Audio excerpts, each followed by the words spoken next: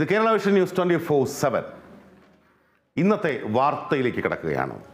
കൊച്ചി ഒരു ഗ്യാസ് ചേമ്പറാണ് കൊച്ചി ഗ്യാസ് ചേമ്പറായിട്ട് പതിനൊന്ന് ദിവസമായി. ഇന്ന് പതിനൊന്നാമത്തെ ദിവസമാണ്. അവസാനം കോർപ്പറേഷനും സമ്മതിക്കുന്നു തങ്ങൾക്ക് വീഴ്ച പറ്റിയെന്ന്. എന്താണ് ബ്രഹ്മപുരം പ്ലാന്റുമായി ബന്ധപ്പെട്ട് സംഭവിച്ചുകൊണ്ടിരിക്കുന്നത്? എന്താണ് കൊച്ചിയിലെ ജനങ്ങളുടെ അവസ്ഥ? ഈ വിഷയങ്ങൾ സമഗ്രമായി പരിശോധിക്കാനാണ് അടുത്ത ഒരു മണിക്കൂർ നേരം Kerala vision news twenty four seven ചെലവിടുന്നത്. നമ്മൾ സ്മാർട്ട് കൊച്ചി എന്നൊക്കെയാണ് സാധാരണ പറഞ്ഞുകൊണ്ടിരുന്നത്. സ്മാർട്ട് കൊച്ചിയൊക്കെ പോയിട്ട് ഇപ്പോൾ smoke കൊച്ചിയാണ്. Smoke Kochi eleven day.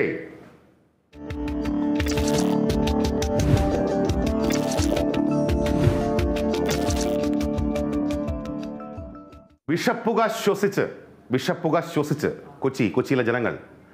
കൊച്ചിയിലെ കൊച്ചി എന്ന് പറയുമ്പോൾ നമ്മുടെ സെൻട്രൽ കൊച്ചി മാത്രമല്ല കൊച്ചിയുടെ വിവിധ ഭാഗങ്ങളിലുള്ള പതിനായിരങ്ങളോ ലക്ഷങ്ങളോ ഇപ്പോഴും വിഷപ്പുക ശ്വസിച്ചുകൊണ്ടിരിക്കുകയാണ്. ആരാണ് ഇതിന് ഉത്തരവാദി? ഈ വിഷയം ചർച്ച ചെയ്യുമ്പോൾ നമുക്കൊപ്പം ചേരുന്നത് അഭിഭാഷകയും ആക്ടിവിസ്റ്റുമായ അഡ്വക്കേറ്റ് വിമല ബിനു ഒപ്പം ശ്രീ രതീഷ് ചക്രവാണി അദ്ദേഹം രാഷ്ട്രീയ സാമൂഹ്യ നിരീക്ഷകനാണ്. കഴിഞ്ഞ പതിനൊന്ന് ദിവസമായി ബ്രഹ്മപുരത്ത് എല്ലാ ദിവസവും പോയിട്ടുണ്ടോ എന്ന് ചോദിച്ചാൽ എല്ലാ ദിവസവും പോകാൻ പറ്റിയിട്ടില്ല. കാരണം ചില ദിവസങ്ങളിൽ ഞങ്ങളുടെ പ്രതിനിധിക്ക് ഈ ജലദോഷവും ശ്വാസതടസ്സവും ഒക്കെ ഉണ്ടായിട്ട് പോകാൻ പറ്റിയിട്ടില്ല. അങ്ങനെ കൊച്ചി ബ്യൂറോ ചീഫ് നമുക്കൊപ്പം ചേരുന്നുണ്ട് അജയ് കുഞ്ഞുമോൻ. അജയ് കഴിഞ്ഞ പതിനൊന്ന് ദിവസവും ബ്രഹ്മപുരത്ത് പോകാൻ പറ്റിയിട്ടില്ല. പക്ഷേ പല ദിവസങ്ങളിലും അജി അവിടെ പോയിട്ട് ഈ സംഭവങ്ങളൊക്കെ ഇളക്കി നോക്കുന്നുണ്ടായിരുന്നു. പരമാവധി ഈ വിഷയം പൊതു മധ്യത്തിലേക്ക് കൊണ്ടുവരാൻ അധികൃതരുടെ ശ്രദ്ധയിൽപ്പെടുത്താനൊക്കെ ശ്രമിച്ചിരുന്നു. എന്താണ് അജി അജിയുടെ അനുഭവം?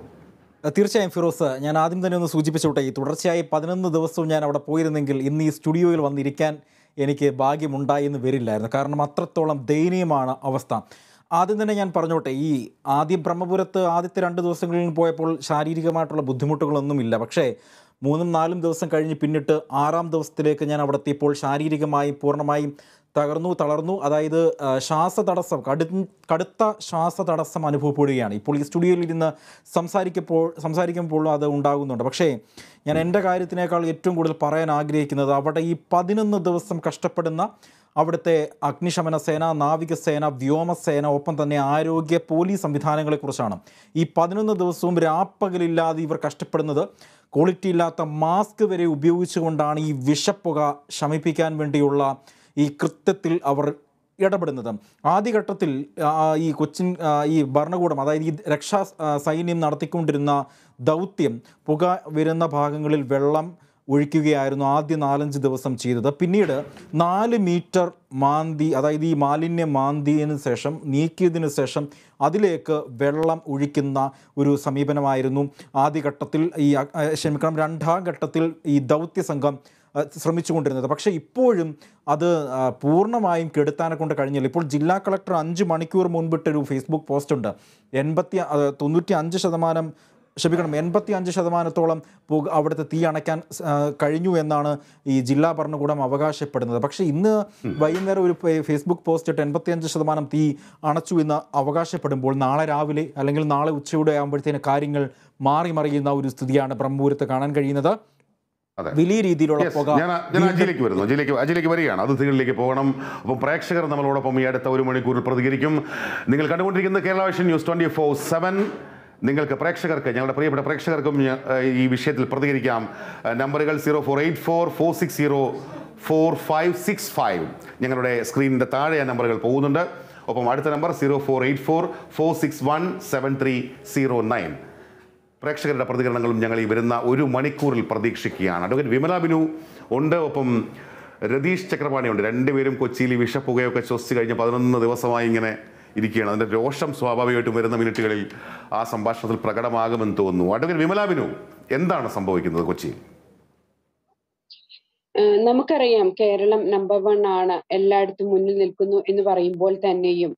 കഴിഞ്ഞ പതിനൊന്ന് ദിവസങ്ങളായി ഒരു പുക കത്തി എരിഞ്ഞ് നമ്മുടെ ശ്വാസകോശങ്ങളെയും നമ്മുടെ ജീവനെയും തന്നെ ഇല്ലാതാക്കുമ്പോഴും നമ്മുടെ റൈറ്റ് ടു ലൈഫ് പ്രൊട്ടക്ട് ചെയ്യുവാൻ ഈ ഭരണകൂടത്തിന് കഴിയുന്നില്ല എന്നുള്ളത് അത്യന്തം വേദനാജനകമായ കാര്യം തന്നെയാണ്. നമുക്കറിയാം നമ്മളെ സംബന്ധിച്ചിടത്തോളം നമ്മൾ അഭ്യസ്ത വിദ്യരാണ് നമ്മൾ എല്ലാ കാര്യങ്ങളും മുന്നിട്ട് നിൽക്കുന്നു എന്ന് പറയുമ്പോഴും ഇത്തരം ഒരു സാഹചര്യത്തെ നേരിടാൻ തക്കതായ ഒരു ദുരന്ത നിവാരണ സേനയോ അതിന് വേണ്ടതായ പ്രായോഗികമായ എക്യുപ്മെന്റ്സോ അതിന് വേണ്ടതായ പ്രായോഗികമായ മെത്തേഡ്സോ ഏത് സിസ്റ്റത്തിലൂടെ ഇതിനെ റിക്കവർ ചെയ്ത് കൊണ്ടുവരണം ഇത്തരത്തിലൊരു സിറ്റുവേഷൻ ഉണ്ടായാൽ ഇതിനെ ഏത് തരത്തിൽ ഈ ഹസാഡിനെ നേരിടണം എന്ന് പോലും നമുക്കറിയത്തില്ലാത്ത വിധത്തിൽ അനാഥത്വം നേരിടുന്ന ഒരു ഭരണകൂട ഭീകരതയാണ് നമ്മൾ അനുഭവിക്കുന്നത്. കാരണം നമുക്ക് നമുക്കറിയാം ഇപ്പോഴും ഒരു ദുരിതാശ്വാസ ക്യാമ്പ് പോലും നിലവിൽ വന്നിട്ടില്ല. അതല്ല എങ്കിൽ ഇപ്പോഴും ആരോടാണ് ഇത്തരത്തിലൊരു പ്രശ്നം ഉണ്ടായാൽ ഈ പുക ശ്വസി- ശ്വസിച്ചത് മൂലം ആളുകൾക്കുണ്ടാകുന്ന ദുരവ്യാപകമായ പ്രത്യാഘാതങ്ങൾ എന്താണ്? ഇത് മൂലം ആളുകൾ നേരിടേണ്ടി വരുന്ന സൈഡ് ഇഫക്ട്സ് എന്താണെന്ന് പോലും ഇതുവരെ വ്യക്തമായും കൃത്യമായും പഠിക്കുവാൻ ഒരു കമ്മിറ്റിയോ അതല്ലെങ്കിൽ അതിനനുസരിച്ച് ആളുകളെ എക്യുപ്പ് ചെയ്യാനുള്ള ഒരു മെത്തേഡ്സോ ഒന്നും അവൈലബിൾ ആക്കിയിട്ടില്ല. സിറ്റുവേഷനെയും പ്രോപ്പറായിട്ട് ഹാൻഡിൽ ചെയ്യാൻ കഴിയാതെ നമ്മുടെ ഭരണകൂടങ്ങൾ നിസ്സഹായരായി നിൽക്കുന്ന കാഴ്ചയാണ് നമ്മൾ കാണുന്നത് മാത്രമല്ല നമ്മളൊന്ന് ആലോചിച്ച് നോക്കണം. നമ്മൾ എന്തിനും നമ്മുടെ ഭരണകൂടത്തെ കുറ്റം പറയുന്ന ഒരു കാഴ്ചക്കാരായി മാത്രം നിൽക്കേണ്ടവരല്ല. പക്ഷെ എങ്കിൽ പോലും അവിടെ ഒരു പ്രോപ്പർ ആയിട്ടൊരു ഇത്തരത്തിലൊരു പുക ശമിപ്പിക്കുന്നതിനുള്ള ഒരു മെത്തേഡ്സ് ഒരു അല്ലെങ്കിൽ ഒരു ഒരു ക്രൈറ്റീരിയ എന്തായിരിക്കണം? അതല്ലെങ്കിൽ അതിന് ഉപയോഗിക്കേണ്ട സ്ട്രാറ്റജിക്കൽ മെത്തേഡ്സ് എന്താണെന്ന് പോലും നമ്മുടെ ഭരണകൂടം വ്യക്തമായും കൃത്യമായും ശ്രദ്ധിച്ചില്ല എന്ന് ഞാൻ പറയാൻ കാരണം ഒമ്പതാം ദിവസം മാത്രമാണ് ഇതുമായിട്ട് ബന്ധപ്പെട്ട കൺസേൺഡ് മിനിസ്റ്റർ ആ ഒരു പ്രദേശം സന്ദർശിച്ചത് എന്നുള്ളത് തന്നെ വളരെയധികം യുനോ പറഞ്ഞ ഏറ്റവും പ്രധാനപ്പെട്ട ആ കാര്യം തന്നെയാണ്. അനാഥത്വം അതാണ് ഏറ്റവും മികച്ച വാക്കെന്ന് എനിക്ക് തോന്നുന്നു. അഡ്വക്കേറ്റ് വിമല ബിനു ആ വാക്ക് ഉപയോഗിച്ചു. അനാഥത്വം അതാണ് സംഭവിച്ചുകൊണ്ടിരിക്കുന്നത് ഇവിടെ. ശ്രീ രതീഷ് ചക്രപാണി രണ്ടായിരത്തി എട്ടിൽ ഈ തുടങ്ങുന്ന ഈ പ്ലാന്റ് അതിനുശേഷം നമുക്കറിയാം രണ്ടായിരത്തി ഒൻപതിൽ തന്നെ അടുത്ത തൊട്ടടുത്ത വർഷം തന്നെ തീപിടുത്തം ഉണ്ടായി. തീപിടുത്തം പിന്നെയും പിന്നെയും ഉണ്ടാകുന്നു. ഇപ്പോൾ കോർപ്പറേഷൻ പറയുന്നത് ഈ സാധാരണ തീ പിടിക്കാറുണ്ട് അത് അത് രണ്ട് ദിവസം കഴിയുമ്പോൾ സാധാരണ അണയാറുണ്ടായിരുന്നു. അങ്ങനെ വിചാരിച്ചിരിക്കുകയായിരുന്നാണ് പതിനൊന്ന് ദിവസമായി. എന്താണ് ശരിക്കും സംഭവിക്കുന്നത്? ആരോട് പോയി പറയണം?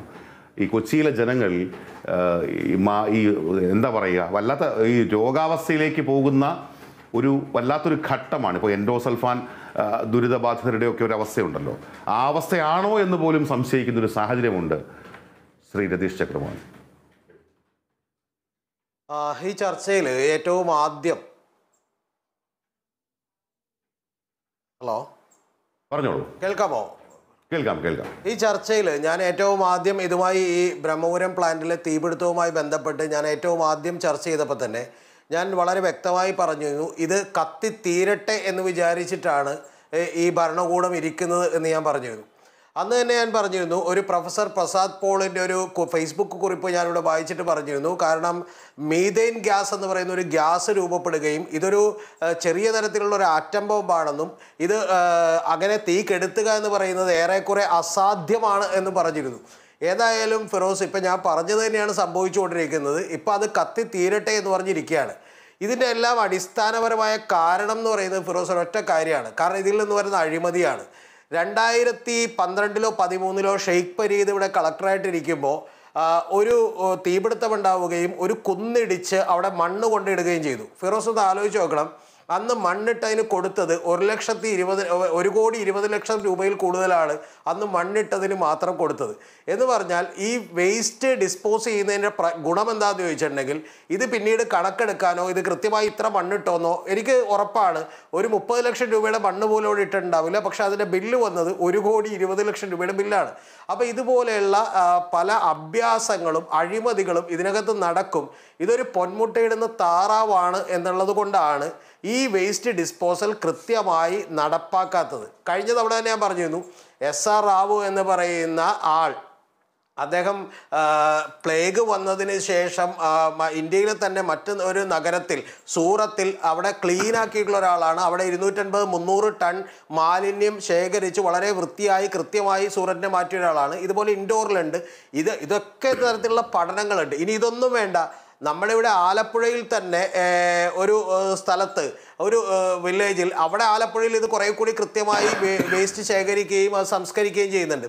അപ്പോൾ ഇതൊന്നും ചെയ്യാത്തതിന്റെ കാരണം എന്തെന്ന് ചോദിച്ചിട്ടുണ്ടെങ്കിൽ ഒരൊറ്റ കാര്യമേ ഉള്ളൂ. ഇത് ഒന്നും ചെയ്യാതിരുന്നാൽ തന്നെ മണി റീപ്പ് ചെയ്യാൻ പറ്റുന്നൊരു കാര്യമാണ്. പണം കൊയ്യാൻ പറ്റുന്നൊരു കാര്യമാണ്. ഇപ്പോൾ സോൻഡ ഇൻഫ്രാടെക് എന്ന് പറയുന്ന ഒരു കമ്പനി ആ സോൺഡ ഇൻഫ്രാടെക് എന്ന് പറയുന്ന ഒരു കമ്പനി ഏകദേശം കേരളത്തിൽ ഇപ്പോൾ കൊച്ചി കാലിക്കറ്റ് കണ്ണൂർ കൊല്ലം കോർപ്പറേഷനുകളിലായി മാത്രം ഏകദേശം ഇരുന്നൂറ്റൻപതോ നാനൂറ് കോടി രൂപയുടെ പ്രൊജക്റ്റുകൾ കിട്ടിയിട്ടുണ്ടെന്നാണ് പറയുന്നത്. ആ പ്രൊജക്റ്റുകൾ കിട്ടുന്നതിലൂടെ അവർ വലിയ തോതിൽ ധനസമാഹരണം നടത്തുകയും ഇത് വൈക്കം വിശ്വന്റെ മകളുടെ ഭർത്താവിന്റെ കമ്പനിയാണ് രാജ്കുമാർ ചെല്ലപ്പൻ എന്ന് പറയുന്ന ആളുടെ കമ്പനിയാണ്. അപ്പോൾ ആ കമ്പനി അവരിപ്പോൾ ആ വൈക്കം വിശ്വന്റെ മകളും മകളുടെ ഭർത്താവും ഞാൻ അറിഞ്ഞിടത്തോളം ഇപ്പൊ ബാംഗ്ലൂരിൽ അവർ ഒരു വീട് പണിയുകയാണ്. അതായത് പത്ത് കോടി രൂപക്ക് സ്ഥലം മേടിച്ച് പത്ത് കോടി രൂപയുടെ വീട് പണിയുകയാണ്. അപ്പോൾ ഇത്തരത്തിലുള്ള വേസ്റ്റ് ടു വെൽത്ത് എന്ന് പറയുന്ന ഒരു പദ്ധതിയുണ്ട് കേന്ദ്ര ഗവൺമെന്റൊക്കെ നിതിൻ ഗഡ്കരിയൊക്കെ നടപ്പിലാക്കുന്ന ഒരു പദ്ധതി എന്ന് പറഞ്ഞിട്ടുണ്ടെങ്കിൽ പുറത്തുള്ള ടയർ വേസ്റ്റുകളൊക്കെ ഇങ്ങോട്ട് കൊണ്ടുവന്നോട്ടെ എന്നാണ് നിതിൻ ഗഡ്കരി എൻവയോൺമെന്റ് മിനിസ്ട്രിയോട് പറയുന്നത്. കാരണം അങ്ങനെ കൊണ്ടുവന്നാൽ ആ ടയറുകൾ ഇവിടെ നമുക്ക് ടാറിങ്ങിന് ഉപയോഗിക്കാം. ഒരു ടെൻ പെർസെന്റേജ് ടയർ ബിറ്റുമനായി ടാറിങ്ങിന് ഉപയോഗിക്കാം എന്ന് പറയുന്ന വേസ്റ്റിൽ നിന്ന് വെൽത്ത് ഉണ്ടാക്കാം എന്ന് അദ്ദേഹം പറയുന്നുണ്ട്. അപ്പോൾ അത് ഇത് ഇവിടെ സത്യത്തിൽ ആ പദ്ധതിയുടെ മറ്റൊരു രൂപമാണ്. അത് വളരെ ക്രിയേറ്റീവായി ക്രിയാത്മകമായി ജനത്തിന് ഗുണം കിട്ടുന്ന കാര്യമാണെങ്കിൽ ഇവിടെ ചെയ്തുകൊണ്ടിരിക്കുന്നത് നേരെ തിരിച്ചാണ്. കാരണം ഒന്നും ചെയ്യാതെ വേസ്റ്റിൽ നിന്നും പണമടിച്ചു മാറ്റാനുള്ള ഒരു സംഭവമാണ്. ഇനി ഫിറോസിന്റെ അടുത്ത് ഒരു കാര്യം കൂടി പറയാം ഞാൻ. ഇവിടെ ഈ കാഷ്വൽ ലേബറേഴ്സിന് വെക്കുന്നുണ്ട് ഈ വേസ്റ്റ് ക്ലീൻ ചെയ്യുന്നതിന് വേണ്ടി കൊച്ചിൻ കോർപ്പറേഷൻ ഇതിൽ തന്നെ ഇരുപത്തഞ്ച് പേര് വെച്ചാൽ നാൽപ്പത് പേരുടെ ശമ്പളമാണ് എഴുതിയെടുക്കുന്നത്. ഞാൻ കൊച്ചി കോർപ്പറേഷനുമായി ബന്ധപ്പെട്ട് ഒരു ഒന്നര കൊല്ലം വർക്ക് ചെയ്തതിന്റെ അടിസ്ഥാനത്തിൽ എനിക്ക് വ്യക്തമായിട്ട് അറിയാം നാൽപ്പത് പേരുടെ ശമ്പളം എഴുതിയെടുക്കുന്നുണ്ട്. ഇത് കൂടാതെ ഇരുപത് ലോറി ഓടിയിട്ടുണ്ടെങ്കിൽ അതിന്റെ പുറത്ത് അമ്പത്തഞ്ചോ അറുപതോ ലോറി ഓടിയതിന്റെ കാശാണ് ഉദ്യോഗസ്ഥന്മാർ എഴുതിയെടുക്കുന്നത്. അപ്പോൾ അവർക്ക് ഈ കോൺട്രാക്ടർമാർക്ക് വെറുതെ കാശ് കൊടുക്കുകയും അതിന്റെ മഹാഭൂരിപക്ഷം ഇവർ അടിച്ചു മാറ്റുകയും ചെയ്യും. ഇതാണ് ഇവിടെ സംഭവിച്ചുകൊണ്ടിരിക്കുന്നത്. എന്നെ അത്ഭു എന്നെ അത്ഭുതപ്പെടുന്ന ഒരു കാര്യം കൂടിയുണ്ട് ഫിറോസ്. അതെന്താണെന്ന് വെച്ചാൽ ഇതിന്റെ ഏറ്റവും കൂടുതൽ ഇപ്പം ഫിറോസോ ഞാനോ ഇതിന്റെ ഒരു ബുദ്ധിമുട്ട് അനുഭവിക്കുന്നതിനേക്കാൾ കൂടുതൽ അനുഭവിക്കുന്ന ഒരു വിഭാഗമുണ്ട്. അതാരാന്നറിയോ? ഓട്ടോറിക്ഷ തൊഴിലാളികൾ റോഡിൽ നിന്ന് കച്ചവടം ചെയ്യുന്ന ആളുകൾ ഇല്ലേ? നമ്മൾ മാർക്കറ്റിൽ നിന്ന് ചെയ്യുന്ന ആളുകൾ ഇങ്ങനെ തുറസായ സ്ഥലങ്ങളിൽ നിന്ന് ജോലി ചെയ്യുന്ന ആളുകളെല്ലാം ഇതിന്റെ വലിയ ബുദ്ധിമുട്ടുകൾ അനുഭവിക്കുന്നവരാണ്. പക്ഷേ കേരളത്തിൽ ഒരു പ്രതിഷേധമോ കൊച്ചിയിൽ ഒരു പ്രതിഷേധം പോലും ഉണ്ടാകുന്നില്ല. എന്ന് പറഞ്ഞാൽ നമ്മൾ അത്രമാത്രം രാഷ്ട്രീയ അടിമകളായി തീർന്നിരിക്കുന്നു എന്നുള്ളതാണ്. ഞാൻ ഇന്ന് വെറുതെ ഇരുന്നൊന്ന് ആലോചിച്ച് നോക്കി. രണ്ട് കൊല്ലം മുമ്പ് അമേരിക്കയിൽ ജോർജ് ഫ്ലോയിഡ് എന്ന് പറയുന്ന ഒരു കറുത്ത വർഗക്കാരനെ ശ്വാസം മുട്ടിച്ച് കൊന്നപ്പോൾ അവിടെ ഉണ്ടായ പ്രതിഷേധം എത്രത്തോളം ഉണ്ട് എന്നുള്ളത് നമുക്കെല്ലാവർക്കും അറിയാം. കാരണം അന്ന് ഡൊണാൾഡ് ട്രംപ് എന്ന് പറയുന്ന വൈറ്റ് ഹൗസിന്റെ മുമ്പിലുണ്ടായ പ്രതിഷേധത്തെ പേടിച്ച് ഡൊണാൾഡ് ട്രംപിനെ താഴെ ബങ്കറുകളിലേക്ക് ഒളിക്കേണ്ടി വന്നു. പക്ഷെ നമ്മുടെ ഇവിടുത്തെ ജനത എത്രമാത്രം അടിമത്തമുള്ളതാണ്. കാരണം നമ്മുടെ ഇവിടുത്തെ ട്രേഡ് യൂണിയനുകളോ നമ്മുടെ ഇവിടുത്തെ എസ് എഫ് ഐ പോലെയുള്ള സംഘടനകളോ ഡിവൈഎഫ്ഐ പോലെയുള്ള സംഘടനകളോ ഒന്നും പ്രതിഷേധിക്കാൻ തയ്യാറായിട്ടില്ല. കാരണം ഇത്തരത്തിലൊരു പൊളിറ്റിക്കൽ മാഫിയ ഈ പണം മുഴുവൻ അടിച്ചു മാറ്റുന്നത് കൊണ്ടാണ് ഈ ആളുകൾ പ്രതികരിക്കാതിരിക്കുന്നത് എന്നുള്ളതാണ് ഏറ്റവും സങ്കടകരമായ കാര്യം. ഏറ്റവും അതെ അതിൽ രാഷ്ട്രീയ ഭേദമില്ല. രണ്ടായിരത്തി ഇരുപതിലാണല്ലോ ഇവിടെ എൽ ഡി എഫ് ഈ കോർപ്പറേഷന്റെ ഭരണ സാരഥ്യത്തിലേക്ക് എത്തുന്നത്. അതിനു മുമ്പ് യു ഡി എഫ് ഭരിച്ചിരുന്ന വർഷങ്ങളാണ്. അതായത് പതിറ്റാണ്ടുകളായി പതിറ്റാണ്ടുകൾ മീൻസ് ഒരു പതിനഞ്ച് വർഷമാണ് ഈ പ്ലാന്റ് ഉണ്ടായിട്ട് ഉള്ള സമയം പതിനഞ്ച് വർഷമാണ്. ഈ പതിനഞ്ച് വർഷക്കാലവും മാറി മാറി ഭരിച്ച കോർപ്പറേഷന്റെ പ്രതിനിധികൾ രാഷ്ട്രീയ പാർട്ടികൾ അതുകൊണ്ട് തന്നെ ഒരു ഒരു ഒരു വലിയ ജനകീയ പ്രതിഷേധത്തിലേക്ക് ഒന്നും കാര്യങ്ങൾ പോകുന്നില്ല. അങ്ങ് പറഞ്ഞപ്പോൾ എനിക്ക് ഈ അങ്ങ് സംസാരിച്ചുകൊണ്ടിരുന്നപ്പോൾ എനിക്ക് പെട്ടെന്ന് തോന്നിയ ഒരു വാചകം ആടെന്തറിഞ്ഞു അങ്ങാടി വാണിഭം എന്ന് നമ്മൾ പറയാറുണ്ട്.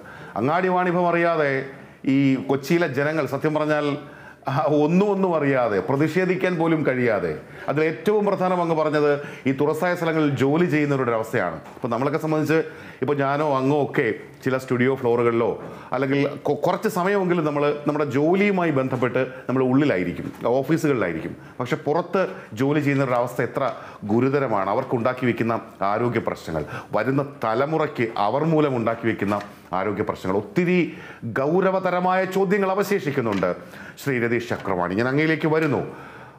അജി കുഞ്ഞുമോൻ കഴിഞ്ഞ പതിനൊന്ന് ദിവസത്തിൽ കുറേ ദിവസങ്ങളെങ്കിലും ഈ കൊച്ചിയിലൂടെ സഞ്ചരിച്ചല്ലോ. ഈ സാധാരണ മനുഷ്യരുടെ ഒരു വികാരം എന്താണ്? അജിക്ക് മനസ്സിലായ ഒരു വികാരം എന്താണ്? ഇത് ആരോട് ആരോട് പറയണമെന്നൊരു സ്വ- സ്വാഭാവികമായ ഒരു ചോദ്യം ഉന്നയിക്കപ്പെടാം. അതിനപ്പുറത്ത് എത്രത്തോളം രോഷം പേറുന്നുണ്ട് കൊച്ചിയിലെ ജനങ്ങൾ? അജി. തീർച്ചയായും വലിയ രീതിയിലുള്ള പ്രതിഷേധം തന്നെ കൊച്ചിയുടെ വിവിധ ഭാഗങ്ങളിൽ ഇത്രയും ദിവസം സഞ്ചരിച്ചതിലൂടെ ഞങ്ങൾക്ക് കാണാൻ കഴിഞ്ഞു.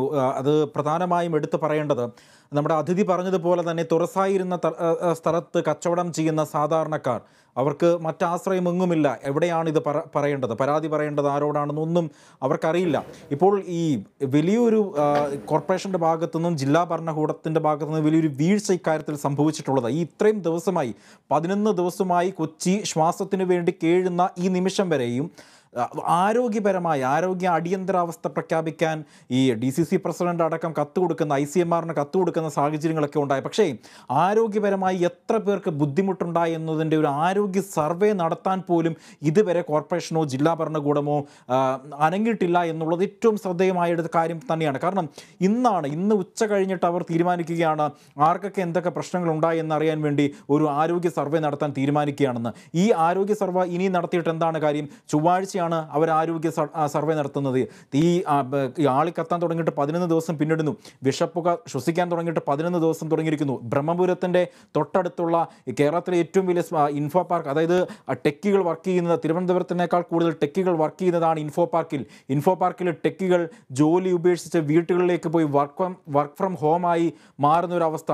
ഈ സമീപ പ്രദേശങ്ങളിലെ നേഴ്സിംഗ് കോളേജുകളിലടക്കമുള്ള വിദ്യാർത്ഥിനികളെ അവർ വീടുകളിലേക്ക് നാടുകളിലേക്ക് പറഞ്ഞയക്കുന്ന ഒരു അവസ്ഥ ഈ ബുദ്ധിമുട്ടുകൾ ഒന്നും തന്നെയും കോർപ്പറേഷനോ അല്ലെങ്കിൽ ജില്ലാ ഭരണകൂടമോ ഒന്നും കാണാതെ സാധാരണക്കാരന് ഒരു പ്രശ്നവുമില്ല എന്ന മട്ടിൽ തന്നെയാണ് പ്രതികരിക്കുന്നത്. മന്ത്രിതലത്തിൽ പോലുമുള്ള ഇടപെടലുകൾ എപ്പോഴാണ് ഉണ്ടായത്? ഈ അടുത്ത ദിവസങ്ങളിൽ മാത്രമാണ് മന്ത്രിതലത്തിലുള്ള ഇടപെടലുകൾ പോലും ഉണ്ടായത്. കാരണം ഈ തീ ഇത്രയും ആളിക്കത്തുന്ന സന്ദർഭത്തിൽ മേയർ പറയുന്ന കാര്യം വിവാദമുണ്ടാക്കാനല്ല ശ്രമിക്കേണ്ടത്. ഇപ്പോൾ ഈ തീ കെടുത്താൻ ആണ് ശ്രമിക്കുന്നത് എന്നാണ് കൊച്ചിൻ കോർപ്പറേഷൻ മേയർ പറയുന്നത്. പക്ഷേ മേയർ പറയുമ്പോൾ ജന ഞാൻ അജിയിലേക്ക് വരികയാണ്. Sunitha Dixon corporation കൗൺസിലറാണ്.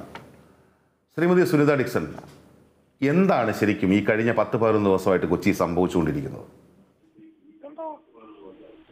Hello? Hello?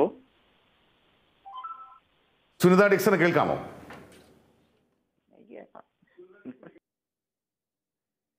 Hello?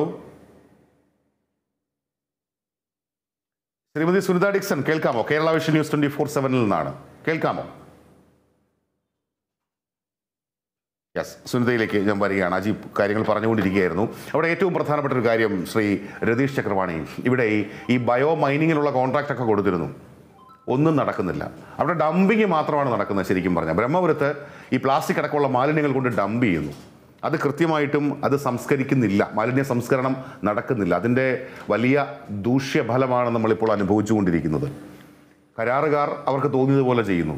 കരാറ് കരാറുകാർക്ക് വീണ്ടും ജൂൺ വരെ നീട്ടിക്കൊടുത്തു സമയമെന്നാണ് പറയുന്നത്. ഒൻപത് മാസം കൊണ്ട് ഈ ബയോ മൈനിങ് നടത്തി മാലിന്യം സംസ്കരിക്കും എന്നായിരുന്നു കോൺട്രാക്റ്റ് കോടിക്കണക്കിന് രൂപ പൊട്ടിക്കുകയാണ് സാർ. ഇത് ആരുടെ ആരുടെ അലംഭാവം എന്നാണ് നമുക്ക് മനസ്സിലാക്കേണ്ടത്. ഇത് വലിയ കൊള്ളയാണ് ഫിറോസ് നടത്തുന്നത്. കാരണം സോണ്ട ഇൻഫ്രാടെക് എന്ന് പറയുന്ന സ്ഥാപനം നമ്മുടെ ഇവിടെ മാത്രമല്ല ഈ കരാർ എടുത്തിട്ടുള്ളത്. ഈ കരാർ എടുത്തിട്ട് ഒരു ഇരുപത് ശതമാനം പണി പോലും അവർ നടത്തിയിട്ടില്ല എന്നുള്ളതാണ് നമുക്കറിയാൻ കഴിയുന്ന ഒരു കാര്യം. ഇവിടെ ഇനി വേറൊരു സ്ഥലത്ത് കണ്ണൂർ കോർപ്പറേഷനിൽ ഇവർ ഇതുപോലെ തന്നെ കരാർ എടുത്തിരുന്നു. ആ കരാർ എടുത്തപ്പോൾ ഏതാണ്ട് ഏഴ് കോടി രൂപയ്ക്ക് ഇവർ കരാർ എടുത്തതിന് ശേഷം ആ കരാർ എടുക്കുമ്പോൾ തന്നെ ഉണ്ടായ ഒരു നിബന്ധന എന്ന് പറയുന്നത് പത്ത് ശതമാനം ക്യാഷ് അതായത് അറുപത്തി എട്ട് പോയിന്റ് ആറ് ലക്ഷം രൂപ ഇവർക്ക് അഡ്വാൻസ് ആയി കൊടുത്തു.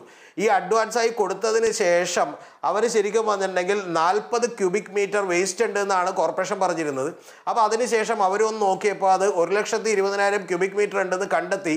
അപ്പോൾ പിന്നീട് എൻ ഐ ടിക്ക് പഠനം നടത്താൻ കൊടുത്തപ്പോൾ എൻ ഐ ടി ഇത് ശരിവെച്ചതുകൊണ്ട് അവർ പറഞ്ഞു ഇരുപത്തി ഒന്ന് കോടി രൂപ ഇരുപത്തൊന്നര കോടി രൂപ ഞങ്ങൾക്ക് കിട്ടണമെങ്കിൽ മാത്രമേ പണി ചെയ്യുള്ളൂ എന്ന് പറഞ്ഞു. എന്ന് പറഞ്ഞാൽ ഒരു പണിയും ചെയ്യാതെ അവരവിടെ നിന്ന് അറുപത്തിയെട്ട് പോയിന്റ് ആറ് ലക്ഷം കോടി രൂപ മേടിച്ചെടുത്തു. ഇനി ഇതിന്റെ ഏറ്റവും വലിയ പ്രധാനപ്പെട്ട കാര്യം എന്ന് പറയുന്നത് കണ്ണൂർ മേയറായിട്ടുള്ള ടി ഒ മോഹനൻ പറയുന്നൊരു വാചകം ഈ സോണ്ട കമ്പനിക്ക് കരാറ് കൊടുക്കാൻ മുഖ്യമന്ത്രിയുടെ ഓഫീസിൽ നിന്ന് സമ്മർദ്ദമുണ്ടായിരുന്നു എന്നുള്ളതാണ്. അപ്പോൾ നമുക്ക് കാര്യങ്ങൾ ഏറെക്കുറെ വ്യക്തമാണ്. കാരണം വൈക്കം വിശ്വൻ എന്ന് പറയുന്ന ഒരു നേതാവ് അദ്ദേഹം അഴിമതി കാണിച്ചു എന്ന് പറയുന്ന ഒരു ആരോപണമൊന്നും ഇതുവരെ നേരിട്ടിട്ടില്ലെങ്കിലും അദ്ദേഹത്തിന്റെ മകളുടെ ഭർത്താവിന്റെ രാജ്കുമാർ ചെല്ലപ്പന്റെ കമ്പനി ഇങ്ങനെ ഒരു സ്ഥലത്ത് പോലും കൃത്യമായി വർക്ക് നടത്തിയിട്ടില്ല. പകരം ഇത് മണി റീപ്പിംഗ് ആയിട്ടുള്ള പണം തട്ടിയെടുക്കാനുള്ള ഒരു കാര്യം മാത്രമായിട്ടാണ് അവരിത് സത്യത്തിൽ ഉപയോഗിച്ചിട്ടുള്ളത്. അതുകൊണ്ട് ഇത് ഒരു സ്ഥലത്ത് മാത്രമല്ല ഒരു ഒരു ഇത് കൊച്ചിയിലും അതുപോലെ തന്നെ അവർ കൊല്ലത്തും ഒരുപാട് സ്ഥലങ്ങളിൽ ഇതുപോലെ കോൺട്രാക്റ്റ് അവർ കരാറെടുത്തിട്ടുണ്ട് പക്ഷെ ഒരു സ്ഥലത്ത് പോലും അവർ പണി ഭംഗിയായി ചെയ്തു എന്ന് പറയുന്ന ഒരു കാര്യമില്ല. ഇവിടെ അതെ അങ്ങ് മുഖ്യമന്ത്രിയുടെ ഓഫീസിന്റെ കാര്യം പറഞ്ഞതുകൊണ്ടാണ്. അങ്ങേ മുഖ്യമന്ത്രിയുടെ ഓഫീസിന്റെ കാര്യം പറഞ്ഞതുകൊണ്ടാണ് ഈ കൊച്ചി കോർപ്പറേഷനാണ് ഈ കരാർ കൊടുത്തതെങ്കിൽ പോലും K S I D C ആണ് ഈ കമ്പനിയെ സോണ്ട ഇൻഫ്രാടെക്കിനെ സജസ്റ്റ് ചെയ്തിരിക്കുന്നത്. എങ്ങനെയാണ് അതിന്റെ കളികളൊന്നും നമുക്കറിയില്ല. എങ്ങനെയാണ് നമ്മുടെ വ്യവസായ വികസന കോർപ്പറേഷൻ ഈ തരത്തിൽ സജസ്റ്റ് ചെയ്യുന്നു? കൊച്ചി കോർപ്പറേഷൻ കോൺട്രാക്ട് കൊടുക്കുന്നു. അങ്ങ് പറഞ്ഞതുപോലെ മുഖ്യമന്ത്രിയുടെ ഓഫീസിൽ നിന്ന് ഇനി സമ്മർദ്ദമുണ്ടോ? ഇത് മുഴുവൻ ഈ രാഷ്ട്രീയവും കച്ചവടവും ഒക്കെയായി ബന്ധപ്പെട്ട് കിടക്കുകയാണ് ശ്രീ രതീഷ് ചക്രവാണി ഞാൻ അങ്ങയിലേക്ക് വരികയാണ്. ഒരിക്കൽ കൂടി അഡ്വക്കേറ്റ് വിമല ബിനുവിലേക്ക് പോകുമ്പോൾ ഇപ്പോൾ നീതിപീഠം വല്ലാതെ സത്യം പറഞ്ഞാൽ വല്ലാതെ വീണ്ടും വീണ്ടും പറഞ്ഞു ഇത് ഒട്ടുമേ ശരിയല്ലാത്ത കാര്യമാണ് തികച്ചും നിരുത്തരവാദപരമായ കാര്യമാണ്.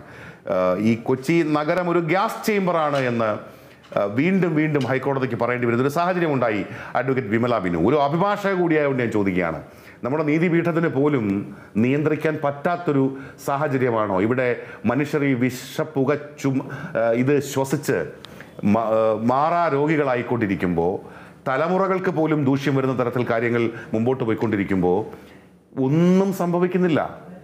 അത് എപ്പോഴെങ്കിലും ആരെങ്കിലും കെടുത്തിയാൽ അല്ലെങ്കിൽ സംവിധാനം അതിന്റെ എപ്പോഴെങ്കിലും ഒരു സമയം പോലെ ഈ സംവിധാനം കെടുത്തുമ്പോൾ കെടുത്തും. അതിനപ്പുറത്തൊന്നുമില്ല. അതുവരെ ഈ സാധാരണ മനുഷ്യർ വിഷപ്പുക ശ്വസിച്ചോണം എന്നതാണ് അവസ്ഥ. നോക്കൂ ഇതിനകത്ത് ഫിറോസ് ഒരു പരിധി വരെ നമ്മൾ ഓരോരുത്തരും കുറ്റക്കാരാണ് എന്ന് തന്നെ പറയേണ്ടിയിരിക്കുന്നു. ഭരണകൂടത്തിനെതിരെ അതിശക്തമായി പ്രതികരിക്കുവാന് അതിശക്തമായി ഇത് തെറ്റാണ്. ഈ ഒരു നമ്മുടെ നമ്മെ സംബന്ധിച്ചിടത്തോളം ഇത് റൈറ്റ് ടു ലൈഫാണ് നമ്മുടെ നമ്മുടെ ഒരു റൈറ്റ് ആണ് നമുക്ക് നല്ലൊരു പുക ശ്വസിക്കാൻ നല്ലൊരു നല്ലൊരു വായുവെങ്കിലും ശ്വസിക്കാൻ കഴിയുക എന്നുള്ളത് നമ്മുടെ റൈറ്റ് ടു ലൈഫിൽ പെടുന്ന കാര്യമാണ്. അതുപോലും നമുക്ക് നേടിയെടുക്കാനായി. എത്ര പേരുണ്ട് ഭരണകൂടത്തിനെതിരെ ഇത്തരം ഒരു അഴിമതി വന്നു ഇത്തരം ഒരു ആരോപണം ഉന്നയിക്കപ്പെട്ടു? ഇതിനെതിരെ ശക്തമായി പ്രതികരിക്കുന്ന നമ്മളിൽ എത്ര പേരുണ്ട്? നമുക്കിത് തെറ്റാണെങ്കിൽ തെറ്റാണ് എന്ന് ചൂണ്ടിക്കാണിക്കുവാനും ഇത്തരം തെറ്റുകളെ ആർജവത്തോടുകൂടി പൊതുസമൂഹത്തിന് മുമ്പിൽ ഓരോരുത്തരും അതിനെ നെഗറ്റിവേറ്റ് ചെയ്യുവാനും അതിനെ ആർഗ്യൂ ചെയ്യുവാനും കപ്പാസിറ്റി ഉള്ളവരായിരുന്നെങ്കിൽ ഇത്തരത്തിലൊരു സാഹചര്യം ഉണ്ടാവുമായിരുന്നില്ല നമുക്കറിയാം. ഇത് ഓരോ അഴിമതി കേസുകൾ വരുമ്പോഴും പൊതുജനം ഇതിനെ മനസ്സിലാക്കുന്നു. ആരെങ്കിലും ഒക്കെ ആരോപണങ്ങൾ ഉന്നയിക്കും എന്നതിനപ്പുറം വീണ്ടും അതേ അഴിമതി കഥകളിലെ നായകന്മാർ തന്നെ വീണ്ടും പിന്നെ ഭരണം കൈയാളുകയും അവർ വീണ്ടും റിപ്പീറ്റഡ് ആയിട്ട് അടുത്ത അഴിമതിയിലേക്ക് പോവുകയും ചെയ്യുന്ന ഒരു കാഴ്ചയാണ് നമ്മൾ കണ്ടുകൊണ്ടിരിക്കുന്നത് എത്ര ചോദിക്കാനും പറയാനും ആരെങ്കിലും ഒക്കെ ഉണ്ടോ? എന്ന് കൊച്ചി ചോദിച്ചു തുടങ്ങിയിരിക്കുന്നു. ചോദിക്കാനും പറയാനും ഒക്കെ ആരെങ്കിലും ഉണ്ടോ എന്ന് ചോദിച്ചു തുടങ്ങിയിരിക്കുന്ന ഞാൻ വരികയാണ്. ഞാൻ വരികയാണ്. ഞാൻ വരികയാണ്. ഞാൻ വിമല വരികയാണ്. ആ, പ്രതിഷേധങ്ങൾ സുനിത ഡിക്സൺ, സുനിത ഡിക്സൺ. പ്രതിഷേധങ്ങൾ. ജനപ്രതിനിധിയാണ് കൊച്ചി കോർപ്പറേഷൻ കൗൺസിലറാണ്. ശ്രീമതി സുനിത ഡിക്സൺ ഇത് ഈ മാലിന്യ മല മാത്രമല്ല വർഷങ്ങളായി കൂടിക്കിടക്കുന്ന അഴിമതിയുടെ ഒരു വലിയ മല കൂടിയാണ് എന്നിപ്പോൾ വെളിപ്പെട്ട് വരുന്നുണ്ട്. ആരാണ് ഉത്തരവാദി മാഡം? മാഡം. അതിൽ എല്ലാവർക്കും നമസ്കാരം. അതിൽ ഞാൻ വ്യക്തമായിട്ട് ഫസ്റ്റ് നിങ്ങൾ എന്നെ വോയിസിൽ വിളിച്ചപ്പോൾ തന്നെ ഞാൻ പറഞ്ഞായിരുന്നു. എല്ലാ കാര്യങ്ങളും അതിൽ ഞാൻ പറഞ്ഞായിരുന്നു. അഴിമതിയെ പറ്റിയും അതിലുള്ള ഓരോരുത്തരെ പറ്റിയും ഞാൻ വ്യക്തമായിട്ട് പറഞ്ഞായിരുന്നു. പരസ്യ മാം ഇപ്പൊ ചോദിച്ചതുപോലെ ആരൊക്കെ ധൈര്യത്തോടുകൂടി പറയും എന്ന് ചോദിച്ചപ്പോൾ മാർച്ച് എട്ട് വനിതാ ദിനത്തിന്റെ അന്ന് വ്യക്തമായിട്ട് ഞാൻ അത് പറഞ്ഞു കൊടുത്തതാണ്. അഴിമതിയെ പറ്റി ഇനി നമ്മൾ ചർച്ച ചെയ്യണതിൽ ആവശ്യമില്ല. നാളെ എന്ത് ജനങ്ങൾക്ക് നമുക്ക് ഇനി എന്ത് ചെയ്തു കൊടുക്കാൻ പറ്റും? അതാണ് ഇനി നമ്മൾ ഓരോരുത്തരും ഇനി എന്ത് ചെയ്തു കൊടുത്തിട്ടെന്ത് കൊടുത്തിട്ട് എന്ത് കാര്യം മാഡം? ഇനി എന്ത് ചെയ്തു കൊടുത്തിട്ട് എന്ത് കാര്യം? ശ്രീമതി സുനിത ഡിക്സൺ പതിനൊന്ന് ദിവസമായിട്ട് വിഷപ്പുക ശ്വസിക്കുകയാണ്. രോഗികളാകേണ്ടവർ രോഗികളായി കഴിഞ്ഞു. ഇനി തലമുറകൾക്ക് എന്ത് സംഭവിക്കുമെന്ന് പോലും നമുക്കറിയില്ല. ഒരു ഒരു ഒരു ശക്തമായ പ്രതിഷേധം പോലും കൊച്ചിയിൽ ഇതുമായി ബന്ധപ്പെട്ട് ഉണ്ടാകുന്നില്ല എന്ന ഏറ്റവും ദൗർഭാഗ്യകരമായ സാഹചര്യം. എല്ലാവരും വീടുകളിൽ ഫ്ളാറ്റുകളിലും അവിടെയൊക്കെ കയറിയിരിക്കുകയാണ്. കൊച്ചി കൊച്ചി എന്ന് പറയുമ്പോൾ അറിയാലോ കേരളത്തിൽ തന്നെ ഏറ്റവും കൂടുതൽ ഫ്ളാറ്റുകളുള്ള അല്ലെങ്കിൽ ഏറ്റവും കൂടുതൽ ആധുനിക സൗകര്യങ്ങളിലൊക്കെ ജീവിക്കുന്ന മനുഷ്യരാണ്. ഒന്ന് പുറത്തിറങ്ങി പ്രതിഷേധിക്കാൻ പോലും ആരുമില്ല ഇവിടെ. തീർച്ചയായിട്ടും തീർച്ചയായിട്ടും. അത് അതിൽ നമ്മൾക്കും വലിയൊരു ആശങ്കയുണ്ട്. കാരണം ജനങ്ങളിൽ പ്രതിരോധ ശേഷി ഇല്ലാത്ത രീതിയിലോട്ട് വീടുകളിലേക്ക് ഒതുങ്ങുന്ന ഒരു അവസ്ഥ കാണുമ്പോൾ നമ്മൾക്കും അടുത്ത തലമുറകളിൽ ആശങ്ക വളരെ കൂടുതലാണ്. കാരണം ജനങ്ങൾ അറിവില്ലായ്മയാണോ അല്ലെങ്കിൽ ഇത് നിസ്സാരവൽക്കരിക്കുന്നതാണോ? പ്രതിഷേധം റോട്ടിലിറങ്ങി ഒരു ഒരാൾ പോലും പ്രതിഷേധിക്കുന്നില്ല. രാഷ്ട്രീയക്കാരല്ലാതെ ഒരു ആളും ഈ ഫേസ്ബുക്കിലൂടെ അല്ലെങ്കിൽ മാധ്യമങ്ങളിലൂടെ പറയുന്ന രണ്ട് വാക്കുകളല്ലാതെ ഒന്നും പ്രതികരിക്കുന്നില്ല. അതൊക്കെ വളരെ അതെ ശ്രീമതി സുനിത ഡിക്സൺ ഈ. സോണ്ട ഇൻഫ്രാടെക്കുമായി ബന്ധപ്പെട്ട് ചില അഴിമതി അതുമായി ബന്ധപ്പെട്ട ചില കാര്യങ്ങളൊക്കെ സുനിത ഡിക്സൺ സൂചിപ്പിച്ചിട്ടുണ്ട്. കുറേ കാര്യങ്ങൾ സുനിത ഡിക്സൺ അടക്കമുള്ള കൗൺസിലർമാർ ഇതുമായി ബന്ധപ്പെട്ട് തുറന്നു പറഞ്ഞിട്ടുണ്ട്. പക്ഷേ നമുക്കറിയാലോ രണ്ടായിരത്തി എട്ടിൽ വരുന്നൊരു പ്ലാന്റ് ആണത് ഈ കഴിഞ്ഞ പതിനഞ്ച് വർഷത്തിൽ പത്ത് വർഷവും ഇവിടെ ഭരിച്ചിരുന്നത് കൊച്ചി ഭരിച്ചിരുന്നത് കോൺഗ്രസ് ആണ് യു ഡി എഫ് ആണ് അപ്പോൾ ആ സമയങ്ങളിലെല്ലാം കാര്യങ്ങളെല്ലാം ഗംഭീരമായിരുന്നു നിങ്ങൾ പറയുമോ അടു തൊട്ടടുത്ത വർഷം രണ്ടായിരത്തി ഒമ്പതിൽ തന്നെ അവിടെ തീപിടുത്തം ഉണ്ടായി. തൊട്ടടുത്ത വർഷങ്ങളിൽ പിന്നെയും തീപിടുത്തം ഉണ്ടായി. അതായത് അവിടെ കാര്യങ്ങൾ പ്രശ്നമായിരുന്നു മൊത്തത്തിൽ പ്രശ്നമായിരുന്നു. അത് ഇപ്പോൾ ഇപ്പോൾ ഉണ്ടായ ഒരു തീപിടുത്തം പതിനൊന്ന് ദിവസത്തിലേക്ക് കടക്കുന്നത് കൊണ്ട് വലിയ വിഷയമാകുന്നു. അല്ലെങ്കിൽ എല്ലാവരും പ്രതീക്ഷിച്ചിരുന്നു രണ്ട് ദിവസം കൊണ്ട് തീയണയി വന്നു അതല്ലേ? അല്ല രണ്ടായിരത്തി പത്തിൽ പത്ത് പതിനഞ്ച് കാലഘട്ടത്തിൽ നമ്മൾക്ക് വേസ്റ്റ് ബയോമൈനിങ് ചെയ്യാനായിട്ട് തികയാതിരുന്നത് കൊണ്ടാണ് നമ്മൾ മറ്റു പഞ്ചായത്തുകളിൽ നിന്നും മുനിസിപ്പാലിറ്റികളിൽ നിന്നും നമ്മളിത് സ്വീകരിച്ചത്. രണ്ടായിരത്തി പത്ത് പതിനഞ്ച് കാലഘട്ടങ്ങളിൽ. അന്നേരം ഞാൻ കൗൺസിലർ ആയിരുന്നു. അന്നേരം നമ്മൾക്ക് അവിടെ വേസ്റ്റ് ബയോമൈനിങ്ങോ അല്ലെങ്കിൽ മറ്റു കാര്യങ്ങളോ ചെയ്യാനായിട്ട് തികയാഞ്ഞത് കൊണ്ടാണ്. ആ ഒരു പോയിന്റ് നമ്മൾ ശ്രദ്ധിക്കണം. അന്നേരം നമ്മൾ നല്ല രീതിയിൽ എനിക്ക് നമ്മളവിടെ പോയി കണ്ടും സഹകരിച്ചും പോകുന്ന ഒരു വ്യക്തി ആയതുകൊണ്ട് ഞാൻ പറയുന്നത്. പക്ഷെ എന്ന് വിചാരിച്ച് രണ്ടായിരത്തി പത്ത് അല്ലെങ്കിൽ പത്ത് വരെ അല്ലെങ്കിൽ ഇരുപത് വരെയുള്ള കാര്യം മാറ്റി നിർത്തണല്ലോ നമ്മൾ. നമ്മളിരിക്കുമ്പോൾ ഇപ്പോൾ ഇരിക്കുന്ന ഭരണസമിതി രണ്ട് അല്ല ഇതെല്ലാം പറയുമ്പോൾ എനിക്കൊരു ചെറിയ സംശയമുള്ളത്. ഈ കൊച്ചി കോർപ്പറേഷനിലെ പ്രതിപക്ഷം എന്ത് ചെയ്യുന്നു?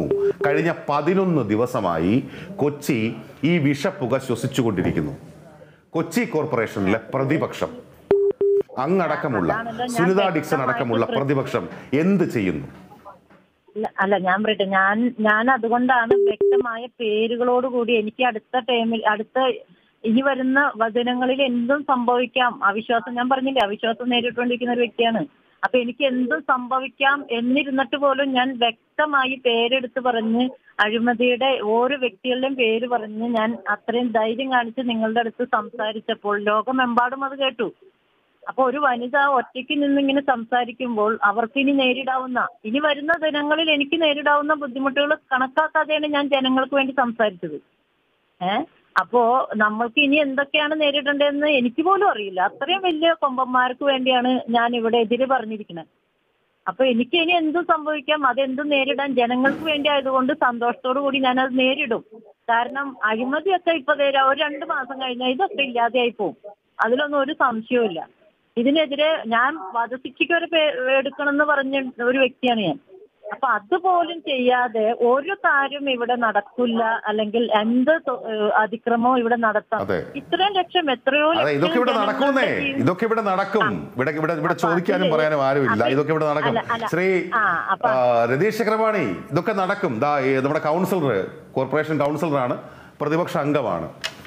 അവർക്ക് പോലും ഇപ്പോൾ ആശങ്കയുണ്ട്. കാരണം ബ്രഹ്മപുരത്ത് പല ദിവസങ്ങളിൽ പോയി ഈ സ്ഥലത്ത് പോയി കുറേ അധികം വിഷപ്പുക ശ്വസിക്കേണ്ടി വന്നു. നമ്മുടെ ബ്യൂറോ ചീഫ് അജി കുഞ്ഞുമോൻ പറഞ്ഞ പോലെ അജി കുഞ്ഞുമോൻ ഒന്നിലധികം ദിവസങ്ങളിൽ ആശുപത്രിയിലാവുകയും ചെയ്തു. ഇതൊക്കെയാണ് യാഥാർത്ഥ്യം. ഇതിന്റെ ഗൗരവം എത്ര ഉണ്ടെന്നോ ഈ വിഷപ്പുക എത്രമാത്രം മാരകമാണെന്നോ ഇപ്പോഴും നമുക്ക് തിട്ടപ്പെടുത്താൻ പോലും കഴിഞ്ഞിട്ടില്ല. ഈ രാത്രിയിൽ നമ്മൾ അങ്ങോട്ടും ഇങ്ങോട്ടും സംസാരിച്ചുകൊണ്ടിരിക്കുമ്പോഴും നമ്മൾ പുറത്തോട്ടിറങ്ങുമ്പോൾ അല്ലെങ്കിൽ ഒരുപക്ഷെ ഈ ഓഫീസിനുള്ളിൽ പോലും ഈ വിഷപ്പുകയുടെ അംശമുണ്ടാകും. ശ്രീ രതീഷ് ചക്രപാണി അതിനെ എത്രത്തോളം നിസ്സാരവൽക്കരിച്ചാണ് നമ്മുടെ രാഷ്ട്രീയ പാർട്ടികൾ കാണുന്നത്? നമ്മുടെ കോർപ്പറേഷൻ അധികൃതർ കാണുന്നത്? ജില്ലാ ഭരണകൂടം കാണുന്നത്? ഇവിടെ ചോദിക്കാനും പറയാനും ആരുമില്ല ശ്രീ. രതീഷ് ചക്രപാണി. ഫിറോസ് ആദ്യത്തെ കാര്യം. സുനിത ഡിക്സൺ എന്ന് പറയുന്നയാൾ അത് വെറും കൗൺസിലർ മാത്രമല്ല പൊതുമരാമത്ത് സ്റ്റാൻഡിംഗ് കമ്മിറ്റി ചെയർമാനാണ്. അതായത് കൊച്ചി കോർപ്പറേഷന്റെ ഭരണപരമായ തീരുമാനങ്ങൾ എടുക്കുന്ന ഒരാളാണ്. ഒന്ന്. രണ്ടാമത്തത് ഇതിൽ വിമലാബിനു അഭിഭാഷകയുള്ള വിമലാബിനു പറഞ്ഞൊരു കാര്യം. അത് അക്ഷരാർത്ഥത്തിൽ കറക്റ്റാണ് ഒരു ജനത അർഹിക്കുന്ന ഭരണകൂടമേ അവർക്ക് കിട്ടുള്ളൂ. ഇപ്പം നമ്മുടെ ഇവിടെ ഇത് സംഭവിക്കാൻ പോകുന്ന ഒരു കാര്യം ഇതിനെതിരെ പ്രതികരിച്ചാൽ ഏതെങ്കിലും കൗൺസിലേഴ്സ് പ്രതികരിച്ചാൽ മറ്റൊരു കൗൺസിലർ ടിബിൻ നാട്ടയുടെ പേര്. അദ്ദേഹം വന്ന് പറഞ്ഞിട്ടുണ്ടായിരുന്നു ഇതൊരു നൂറ് കോടിയുടെയെങ്കിലും അഴിമതിയുള്ള പ്രൊജക്റ്റാണ് എന്ന് പറഞ്ഞിട്ടുണ്ട്. കോൺഗ്രസിന്റെ തന്നെ കൗൺസിലറാണ്. അത് കോൺഗ്രസിനും അതുപോലെ തന്നെ ഇടതുപക്ഷത്തിനും മറ്റേ യു ഡി എഫിനും എല്ലാവർക്കും ഇതിനകത്ത് പങ്കുണ്ടെന്നും എല്ലാവരും ആ കേക്കിന്റെ ഭാഗം കഴിച്ചിട്ടുണ്ട് എന്നും അദ്ദേഹം പറയുന്നുണ്ട്. പിന്നെ രണ്ടാമതൊരു കാര്യം കൂടി കൂടിയുള്ളത് നമ്മുടെ ഇവിടെയുള്ള ഒരു പ്രശ്നം. അടിസ്ഥാനപരമായ കാര്യങ്ങളിൽ ശാശ്വതമായ പരിഹാരം ഉണ്ടാകുന്നത് ജനങ്ങൾക്ക് വലിയ താല്പര്യമില്ല. കാരണം അതിന്റെ റിസൾട്ട് കിട്ടാൻ കുറച്ചുകൂടി വൈകും. പക്ഷെ അതിന് പകരം വീട്ടിലേക്ക് ആട് കൊടുക്കുക കിറ്റ് കൊടുക്കുക ഇത്തരത്തിലുള്ള താൽക്കാലിക വികസനങ്ങൾ ഉണ്ടാവണം ജനത്തിന് താല്പര്യമുണ്ട്. കാരണം അത് പെട്ടെന്ന് ഉണ്ടാക്കാൻ പറ്റുന്ന ഒരു കാര്യമാണ് അല്ലെങ്കിൽ പെട്ടെന്ന് കിട്ടുന്ന ഒരു ബെനഫിറ്റാണ് ഒന്ന്. രണ്ടാമത്തത് ഈ കണ്ണൂർ കോർപ്പറേഷനിൽ ഈ കണ്ണൂർ കോർപ്പറേഷനിൽ ഈ സോണ്ട ഇൻഫ്രാടെക്കിന് ഇത് കൊടുക്കാൻ തീരുമാനിക്കുമ്പോൾ ഫിറോസ് അറിയേണ്ട ഒരു കാര്യം സിംഗിൾ ടെൻഡർ ആണ് എന്ന് പറഞ്ഞാൽ ഒരൊറ്റ കമ്പനി മാത്രമേ അപ്രോച്ച് ചെയ്തിട്ടുള്ളൂ. അങ്ങനെ സിംഗിൾ ടെൻഡർ വന്നാൽ അത് ക്യാൻസൽ ചെയ്തിട്ട് മറ്റ് വീണ്ടും ടെൻഡർ റീടെൻഡർ ചെയ്യണമെന്നാണ് വ്യവസ്ഥ. പക്ഷെ അതെല്ലാം മാറ്റിവെച്ചുകൊണ്ടാണ് ഇത് വീണ്ടും കൊടുത്തിട്ടുള്ളത്. അപ്പോൾ ഇതിൽ എത്രമാത്രം അഴിമതി ഉണ്ടെന്ന് നമുക്ക് മനസ്സിലാക്കാം. പിന്നെ ഇതിന്റെ അടി അടുത്ത കാര്യം സംഭവിക്കാൻ പോണെന്ന് വെച്ചാൽ ഇപ്പൊ സുനിതാജി ഡിക്സൺ അടക്കമുള്ള ആളുകൾ ഇതിനെ എതിർക്കുമ്പോൾ നാളെ കോൺഗ്രസും അതുപോലെ തന്നെ സി പി എമ്മും അടക്കമുള്ള എൽ ഡി എഫും യു ഡി എഫും അടക്കമുള്ള പാർട്ടികളൊക്കെ ഒന്നാവുകയും ഒരു ഒരു കൊല്ലം കഴിഞ്ഞോ രണ്ട് കൊല്ലം കഴിഞ്ഞോ കൗൺസിൽ ഇലക്ഷൻ നടക്കുമ്പോൾ ജനം ഇതൊക്കെ മറക്കുകയും വീണ്ടും ഈ പാർട്ടികളുടെയൊക്കെ അടിമകളായി മാറിക്കൊണ്ട് ഇവർക്കെതിരെ ഇവർക്ക് അനുകൂലമായി വോട്ട് ചോദിക്കാൻ നിൽക്കുകയും ഇതിന് ഈ അഴിമതിക്കെതിരെ നിന്ന ആളുകളെ ജനം മറക്കുകയും ചെയ്യുന്ന ഒരു അവസ്ഥയുണ്ടാവും. അതുകൊണ്ട് ഒരു ജനം അർഹിക്കുന്ന ഭരണകൂടത്തെ നമുക്ക് കിട്ടുള്ളൂ ഒരു കാര്യം. രണ്ടാമത് ഫിറോസ് ഒന്ന് ആലോചിച്ച് നോക്കണം. ഏറ്റവും കൂടുതൽ ഇത് ബാധിക്കാൻ പോകുന്ന ആരെന്ന് വെച്ചാൽ ഓട്ടോറിക്ഷ തൊഴിലാളികളെയാണ്. കാരണം അവർ ഒരു കവേർഡും അല്ലാത്ത വാഹനത്തിൽ പുറത്ത് ഒരുപാട് സമയം ജോലി രാവിലെ മുതൽ രാത്രി വരെ ജോലി ചെയ്യുന്നവരാണ്. അവർക്ക് യൂണിയൻ ഉണ്ട്. പക്ഷെ അവർക്ക് പോലും ഒന്ന് പ്രതിഷേധിക്കാൻ തോന്നാത്തതിന്റെ കാരണം ഇത്തരത്തിലുള്ള രാഷ്ട്രീയ അടിമത്തം നമ്മുടെ കൊച്ചിക്കാരായിട്ടുള്ള ജനങ്ങൾക്കുള്ളത് കൊണ്ടാണ് ഇനി അടുത്തൊരു കാര്യം കൂടി പറയാം. നമ്മുടെ സാംസ്കാരിക നായകരെ എടുത്തു നോക്കൂ. ഇപ്പൊ ഒമ്പതാമത്തെ ദിവസം പത്താമത്തെ ദിവസം ആയപ്പോഴാണ് ശരിക്കും പറഞ്ഞാൽ സച്ചിദാനന്ദൻ ഇപ്പൊ ഒന്ന് പ്രതികരിച്ചിട്ടുണ്ട്. സത്യത്തിൽ ഇത് വല്ല ഉത്തർപ്രദേശിലായിരുന്നുവെങ്കിൽ സച്ചിദാനന്ദനൊക്കെ ഇതിനകം നാല് കവിതകളെങ്കിലും എഴുതി കഴിഞ്ഞാൽ ഓക്കെ. മനുഷ്യ സ്നേഹമാണ് മാക്സിസം എന്ന് പറഞ്ഞ് മുരുകൻ കാട്ടാക്കടയും ഒരു അഞ്ച് കവിത എഴുതി കഴിഞ്ഞാൽ പക്ഷെ ഇതൊന്നും എഴുതാത്തതിന്റെ കാര്യം ഇതെന്നും ഈ പറയുന്ന ഈ രാഷ്ട്രീയ അടിമകളായിട്ടുള്ള സാംസ്കാരിക നായകരും മഹാഭൂരിപക്ഷം വരുന്ന ജനങ്ങളുമാണ് ഇവിടെ ഉള്ളതുകൊണ്ടാണ് ഇത് പ്രതികരിക്കാത്തത്. ഏറ്റവും കുറഞ്ഞ പക്ഷം ഇവിടെയുള്ള യുവജനങ്ങളോ എസ് എഫ് ഐക്കാരോ ഒക്കെ പ്രതികരിച്ചാലേ.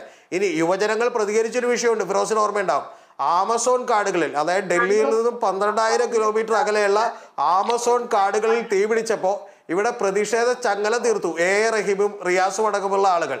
പക്ഷേ ഒമ്പതാമത്തെ ദിവസമാണ് ഫിറോസ് ഇവിടെ മന്ത്രിമാർ വിസിറ്റ് ചെയ്തിട്ടുള്ളത്. ഒന്ന്. രണ്ടാമത്തത് ഒരു മിനിറ്റിൽ ഒരു പോയിന്റ് കൂടി. ഒരക്ഷരം ഒരു ഈ ഈ ഈ പത്താമത്തെ ദിവസമാണ് ഫിറോസ് അറിയേണ്ടത്. നാലായിരം ലിറ്റർ പമ്പ് ചെയ്യുന്ന ഒരു മിനിറ്റ് പമ്പ് ചെയ്യുന്ന പമ്പ് കൊണ്ടുവന്ന് വെച്ചത്. എന്ന് പറഞ്ഞാൽ ഇതങ്ങോട്ട് കത്തി തീർന്നോട്ടെ.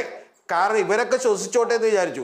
സത്യത്തിൽ ഇത് പുതിയ ജനങ്ങൾക്ക് അതായത് പുതിയ തലമുറയ്ക്ക് ഇത് മനസ്സിലായിട്ടുണ്ട്. അതുകൊണ്ട് എന്താ ഗുണമെന്ന് വെച്ചിട്ടുണ്ടെങ്കിൽ അവരെല്ലാവരും ഇവിടെ വിട്ട് ഫ്രാൻസോ ഇറ്റലിയോ നൈജീരിയയോ ഇനി എത്തോപ്പിയോ പോലെയുള്ള ഏതെങ്കിലും രാജ്യത്തേക്ക് ഓടി രക്ഷപ്പെടാന്നുള്ള കണ്ടീഷനിലാണ് പിന്നെ ഏറ്റവും വലിയൊരു തമാശ കൂടിയുണ്ട്. ഇതിനൊപ്പം നമ്മളൊക്കെ ആകെ ആശ്വാസമുള്ള ഒരു കാര്യം മുഹമ്മദ് റിയാസ് മുഖ്യമന്ത്രിയും ബിന്ദു ടീച്ചറും ഒക്കെയാണ്. കാരണം ഇവരെ കൊണ്ടുള്ള ഗുണം എന്താണെന്ന് വെച്ചാൽ ഇവർ ഇതിനിടയ്ക്ക് നമ്മളെ കോമഡി പറഞ്ഞ് ചിരിപ്പിക്കുന്നുണ്ട്. ഫിറോസ് ഒരു കാര്യം മനസ്സിലാക്കണം. മന്ത്രി റിയാസ് പറഞ്ഞ വാചകം എന്താണെന്നറിയോ? ഫ്രാൻസിൽ നിന്ന് ഒരു ലക്ഷം പേരെ ടൂറിസ്റ്റുകളായി കേരളത്തിലേക്ക് കൊണ്ടുവരുമെന്ന്. ഒന്ന് ആലോചിച്ച് നോക്കണം. പാരീസ് പോലെയുള്ള ഒരു നഗരത്തിൽ നിന്ന് കൊച്ചിയിലേക്ക് കൊണ്ടുവരുന്ന. ടൂറിസ്റ്റുകളാണ് കൊച്ചിയിലോട്ട് തന്നെ കൊച്ചിയിലോട്ട് തന്നെയാണ് കൊണ്ടുവരേണ്ടത് ശ്രീ ചക്രവാണി പിന്നെ അടുത്ത കാര്യം. ഉന്നത വിദ്യാഭ്യാസത്തിന്റെ ഹബ്ബായിട്ട് അതായത് നമ്മുടെ ചിന്താ ജെറോമും അതുപോലെ തന്നെ മറ്റേ ഇവരൊക്കെ പഠിപ്പിക്കുന്ന കോളേജുകളിലേക്ക് നമ്മുടെ മറ്റേ ഏർ, ദീപാ നിശാന്തൊക്കെ പഠിപ്പിക്കുന്ന കോളേജുകളിലേക്ക് പഠിക്കാൻ വേണ്ടിയിട്ട് ജർമ്മനിയിൽ നിന്നും ഓസ്ട്രേലിയയിൽ നിന്നും ഇംഗ്ലണ്ടിൽ നിന്നൊക്കെ കുട്ടികളെ എത്തിക്കും എന്നാണ് അദ്ദേഹം പറഞ്ഞു വരുന്നത്. ഇത്തരത്തിലുള്ള തമാശകൾ നമുക്ക് കേൾക്കാം എന്നുള്ളത് അതെ അതെ അതെ അതെ. ഇതിനെക്കുറിച്ച് എന്തെങ്കിലും ഇപ്പൊ ഈ പതിനൊന്ന് ദിവസമായിട്ട് കൊച്ചിയിലെ ജനങ്ങൾ വിഷപ്പുക ശ്വസിക്കുന്നതിനെ കുറിച്ച് ഇവരൊക്കെ എന്തെങ്കിലും ഒന്ന് ഉരിയാടിയോ എന്നൊരു ചോദ്യം ഉണ്ട് അവിടെ ഞാൻ അങ്ങനെയൊക്കെ വരികയാണ്. ഒരു പ്രേക്ഷകൻ പ്രേക്ഷക സുഹൃത്ത് നമുക്ക് ചേരുകയാണ്. Hello? Hello hello sir. Hello? Hello hello ആ കേൾക്കാം സാർ. ആ കേൾക്കാം കേൾക്കാം. അങ്ങയുടെ പേര് പറഞ്ഞോളൂ. എഡ്വിൻ. എഡ്വിൻ. എഡ്വിൻ കൊച്ചിയിലാണോ? എവിടെയാണ്? കൊച്ചി കൊച്ചി ഓക്കേ. പറഞ്ഞോളൂ എന്താ അവസ്ഥ എഡ്വിൻ? അവസ്ഥ എനിക്ക് ഞാൻ അവിടുന്ന് ഒരു ആറ് ഏഴ് കിലോമീറ്റർ ആണെന്ന് തോന്നുന്നു ഈ സ്ഥലത്ത്. ഹലോ? ആ ആ പറഞ്ഞോളൂ പറഞ്ഞോളൂ. ഞങ്ങളെ ഞങ്ങളുടെ ഇവിടേക്ക് അടക്കം കാലത്ത് നമ്മൾ ഡ്യൂട്ടി ഇറങ്ങുന്ന ആ സമയമാകുമ്പോഴും ഇവിടെ അത്രയും പുക അതിനകത്ത് തങ്ങി നിൽക്കുക നമ്മുടെ ഈ അന്തരീക്ഷത്തിൽ. നമ്മുടെ റൂമിനകത്തോട്ട് എല്ലാം പുക കയറി വന്നിരിക്കുകയാണ് ഇപ്പൊ. നമ്മൾ മാസ്ക് വെച്ചിട്ടും അങ്ങനെയൊക്കെ ഇപ്പൊ നടക്കുന്നേ. ആരോഗ്യ പ്രശ്നങ്ങൾ എന്തെങ്കിലും ഉണ്ടോ? ആരോഗ്യ പ്രശ്നങ്ങൾ ഓൾറെഡി ശ്വാസം മുട്ടലുള്ള ആളാണ്. അപ്പോ വല്ലപ്പോഴും ഉപയോഗിക്കേണ്ട ഒരു ഇൻഹേലർ ആണ് തന്നിരിക്കുന്നത് അത് ഞാനിപ്പോ ഡെയിലി ഉപയോഗിക്കേണ്ട ഒരു അവസ്ഥ വന്നു. അങ്ങനെ ഇനിയിപ്പോ ലീവൊക്കെ എടുത്ത് നാട്ടിൽ പോകേണ്ട ഒരു അവസ്ഥ വന്നിരിക്കുകയാണ് ഇപ്പോ. ഓ. ഇതിപ്പോ എന്താണ് ഈ ഈ ശരിക്കും ഇത് ആരാണ് ഇത് പരിഹരിക്കേണ്ടത്? നമുക്കിപ്പോ ഒന്നും ചെയ്യാൻ പറ്റാത്ത അവസ്ഥയാണല്ലോ. ഇതിപ്പോ ഇതിപ്പോ ആരോട് പറയും എന്ത് ചെയ്യും എന്നൊക്കെ ഉള്ളൊരു സംശയത്തിൽ നമ്മുടെ കൊച്ചിയിലെ പരിഷ്കൃതരായ ജനങ്ങൾ ഇങ്ങനെ ഇരിക്കുകയാണ് ഫ്ലാറ്റുകളിൽ എന്ത് ചെയ്യണമെന്ന് വെച്ച് കഴിഞ്ഞാൽ ഇപ്പൊ ഞാൻ പുറത്തോട്ട് ഇറങ്ങുവാണെങ്കിൽ തന്നെ ഇപ്പോഴും അത്രയും വേസ്റ്റ് പുറത്ത് തന്നെ കിടക്കുന്നുണ്ട്. ആരും എടുക്കുന്നില്ല. നമ്മുടെ അവിടെ വേസ്റ്റ് അത്യാവശ്യം കുന്നു കൂടി തുടങ്ങി. ഇത് ഒരു കൃത്യമായിട്ട് ഇത് ഇതൊന്ന് ഡിസ്പോസ് ചെയ്യാൻ എന്തെങ്കിലും ഒന്ന് ചെയ്യണം എന്നാണ് അങ്ങ് പറഞ്ഞത് ഏറ്റവും പ്രധാനപ്പെട്ട ഒരു കാര്യമാണ്. അങ്ങ് പറഞ്ഞത് ഏറ്റവും പ്രധാനപ്പെട്ട ഒരു കാര്യമാണ്. അവിടെ ഈ ഈ വിഷപ്പുക അവിടെ കത്തിക്കൊണ്ടിരിക്കുന്നു. ആ വിഷപ്പുക കൊച്ചി ശ്വസിച്ചുകൊണ്ടിരിക്കുന്ന അതേ സമയം തന്നെ മാലിന്യ നീക്കം നടക്കുന്നില്ല. മാലിന്യം എങ്ങോട്ടും കൊണ്ടുപോകുന്നില്ല. പല സ്ഥലങ്ങളിലും ഇങ്ങനെ കൂടിക്കിടക്കുകയാണ്. അങ്ങനെ ചീഞ്ഞ് നാറുന്ന കൊച്ചി എന്നും കൂടി നമുക്ക് പറയേണ്ടി വരുന്ന ഒരു സാഹചര്യമുണ്ട്. അടുവർ വിമലാബിനു എന്താണ് സാഹചര്യം? അതായത് ഈ മാലിന്യ നീക്കവും കൂടെ നടക്കാതാകുമ്പോഴത്തേക്ക് ആകെ പ്രശ്നമാണല്ലോ ഇത്. തീർച്ചയായും നമുക്കറിയാം അമേരിക്കയിൽ വിയറ്റ്നാമിൽ നിന്ന് വന്ന വിപ്ലവകാരികളെ കൊല്ലുന്നതിന് വേണ്ടി ഉപയോഗിച്ച ഡയോക്സിനുകളാണ് ഇപ്പോൾ നമ്മുടെ മേലും പ്രയോഗിക്കപ്പെട്ടുകൊണ്ടിരിക്കുന്നത്. ഇത് അധികാരികളുടെ അനാസ്ഥ ഇതിനകത്ത് ഒരു വലിയ പങ്ക് വഹിക്കുന്ന കാര്യമാണ്. നമുക്കറിയാം കേന്ദ്ര ദുരന്ത നിവാരണ സേനയുടെ സഹായം പോലും തേടാതെ നല്ലൊരു സ്ട്രാറ്റജിക്കൽ അപ്രോച്ച് ഇല്ലാതെ ഒരു നല്ലൊരു സംവിധാനമില്ലാതെ എന്തുകൊണ്ടാണ് ഒരു ഭരണകൂടത്തിന് ഇതൊക്കെ അപ്രായോഗികമായ കാര്യങ്ങളായിട്ട് അല്ല അപ്രാപ്യമായ കാര്യങ്ങളായി തീരുന്നത് എന്നുള്ളതാണ് നമ്മൾ മനസ്സിലാക്കേണ്ടത്. ഭരണകൂടത്തിന്റെ കയ്യിൽ പണമില്ലേ? ഭരണകൂടത്തിനെ സംബന്ധിച്ചിടത്തോളം കേന്ദ്രസേനയുടെ സഹായം വിളിക്കുവാൻ കഴിയില്ലേ? നമുക്ക് നല്ല അഗ്നിശമന സേനാ വിഭാഗങ്ങളില്ലേ? എന്തുകൊണ്ടാണ് എൻഡയർ ഫോഴ്സിനെ വിന്യസിപ്പിച്ചുകൊണ്ട് നമ്മുടെ എക്യുപ്മെന്റ്സിനെ എല്ലാത്തിനെയും നമ്മുടെ മുഴുവൻ സാഹചര്യങ്ങളെയും സിറ്റുവേഷൻസിനെയും എംപ്ലോയ് ചെയ്തുകൊണ്ട് ഇതിനെ ഡൈല്യൂട്ട് ചെയ്ത് കൊണ്ടുപോകും. എന്തുകൊണ്ട് ഭരണകൂടം ശ്രദ്ധിക്കുന്നില്ല എന്നുള്ളതാണ് വലിയ കാര്യം. നമ്മളെ സംബന്ധിച്ചിടത്തോളം നമുക്കറിയാം ഈ ഡയോക്സിനുകളും അതുപോലെ തന്നെ ഫ്ലൂറൈഡുകളും ഒക്കെ വരുത്തി വെക്കുന്ന ദുര ദുരവ്യാപകമായ പ്രത്യാഘാതങ്ങളുണ്ട്. ഞാൻ പറയാം ഞാൻ ഇന്ന് ഉമാ തോമസിന്റെയും അതുപോലെ തന്നെ തൃക്കാക്കര എം എൽ എ ആണ് അവർ അവരുടെയും അതുപോലെ തന്നെ T J Vinod M L എയുടെയും ഒക്കെ സ്റ്റേറ്റ്മെന്റ്സ് കേൾക്കുകയായിരുന്നു. അവർ പറയുന്ന അവർക്കൊക്കെ ശ്വാസകോശ സംബന്ധങ്ങളായ പ്രശ്നങ്ങളുണ്ട്. അവരും കൊച്ചി നഗരത്തിൽ തന്നെയാണ് താമസിക്കുന്നതെന്നാണ് So, നമ്മുടെ ജനപ്രതിനിധികൾ ആരും ഇതിൽ നിന്ന് എക്സ്ക്ലൂഡഡ് അല്ല. അപ്പം പ്രായമായവരെ കുഞ്ഞുങ്ങളെയൊക്കെ ഏതൊക്കെ തരത്തിൽ തന്നെ ഇത് ബാധിച്ചു പോയേക്കാം? എന്നറിയില്ല. കാരണം ഡയോക്സിനുകൾ അത്ര അത്ര കണ്ട് പിന്നെ വിഷമാണ്. ഒരുപക്ഷെ നമ്മുടെ ശരീരത്തിന് അത് ദുരവ്യാപകമായ ഫലങ്ങൾ ഉളവാക്കിയേക്കാം. എന്തുകൊണ്ടാണ് ഒരു ഒരു ഒരു സ്ട്രാറ്റജിക്കൽ അപ്രോച്ചിലൂടെ നമുക്കിത് പരിഹരിക്കാൻ കഴിയാതെ അതെ. ചോദ്യമാണത് ചോദ്യമാണത്. കളക്ടർ അതിനെ- ആദ്യത്തെ ദിവസം കളക്ടർ പറഞ്ഞ രണ്ടു ദിവസം കൊണ്ട് തീയണയ്ക്കുമെന്നാണ്. പിന്നെ കോടതി ചോദിച്ചു നിങ്ങൾ രണ്ടു ദിവസം കൊണ്ട് തീയണയ്ക്കുമെന്ന് പറഞ്ഞില്ലേ? പിന്നെന്താണ്? അത് പിന്നെ അത് ദുരന്ത നിവാരണ അല്ലെങ്കിൽ മിഷൻ ഏറ്റെടുക്കുന്ന സംഘം പറഞ്ഞു അത് ഇത്ര ദിവസം കൊണ്ട് തീയണയ്ക്കുമെന്ന് പറഞ്ഞു എന്ന് പറഞ്ഞു. സത്യം പറഞ്ഞാൽ ആ രണ്ടും നാലും അഞ്ചും ഒക്കെ കഴിഞ്ഞ് രണ്ടാഴ്ചയോടടുക്കുന്നു. അതാണ് ഈ ഒരു പ്രശ്നം. ഒരു പ്രേക്ഷകൻ വിജയൻ നമുക്കൊപ്പം ചേരുകയാണ്. ശ്രീ വിജയൻ അങ്ങ് എവിടെ നിന്നാണ് സംസാരിക്കുന്നത്? ഞാൻ കൊല്ലത്തു നിന്നാണ്. അങ്ങ് കൊല്ലത്ത് നിന്നാണ്. പക്ഷെ കൊച്ചിയെ കുറിച്ച് ആശങ്കയുണ്ട്. ആ ആശങ്കയുണ്ട്. ആശങ്കയുണ്ടെന്ന് മാത്രമല്ല ആദ്യം ആ കോർപ്പറേഷന്റെ നമ്മുടെ മേയർ രാജിവെക്കണം എന്നാ എന്റെ കൃത്യമായ എനിക്ക് ഞാൻ മനസ്സിലാക്കിയെടുത്തോളം അങ്ങേര് രാജി വെച്ചിട്ട് പിന്നെ പിന്നെ കൃത്യമായിട്ട് ഞാൻ പറയുക. കാരണം എന്ത് ചെയ്യുന്നു ഇവർ ഇത്രയും വലിയ ഒരു വിഷയം ഈ കൊച്ചി കൊച്ചി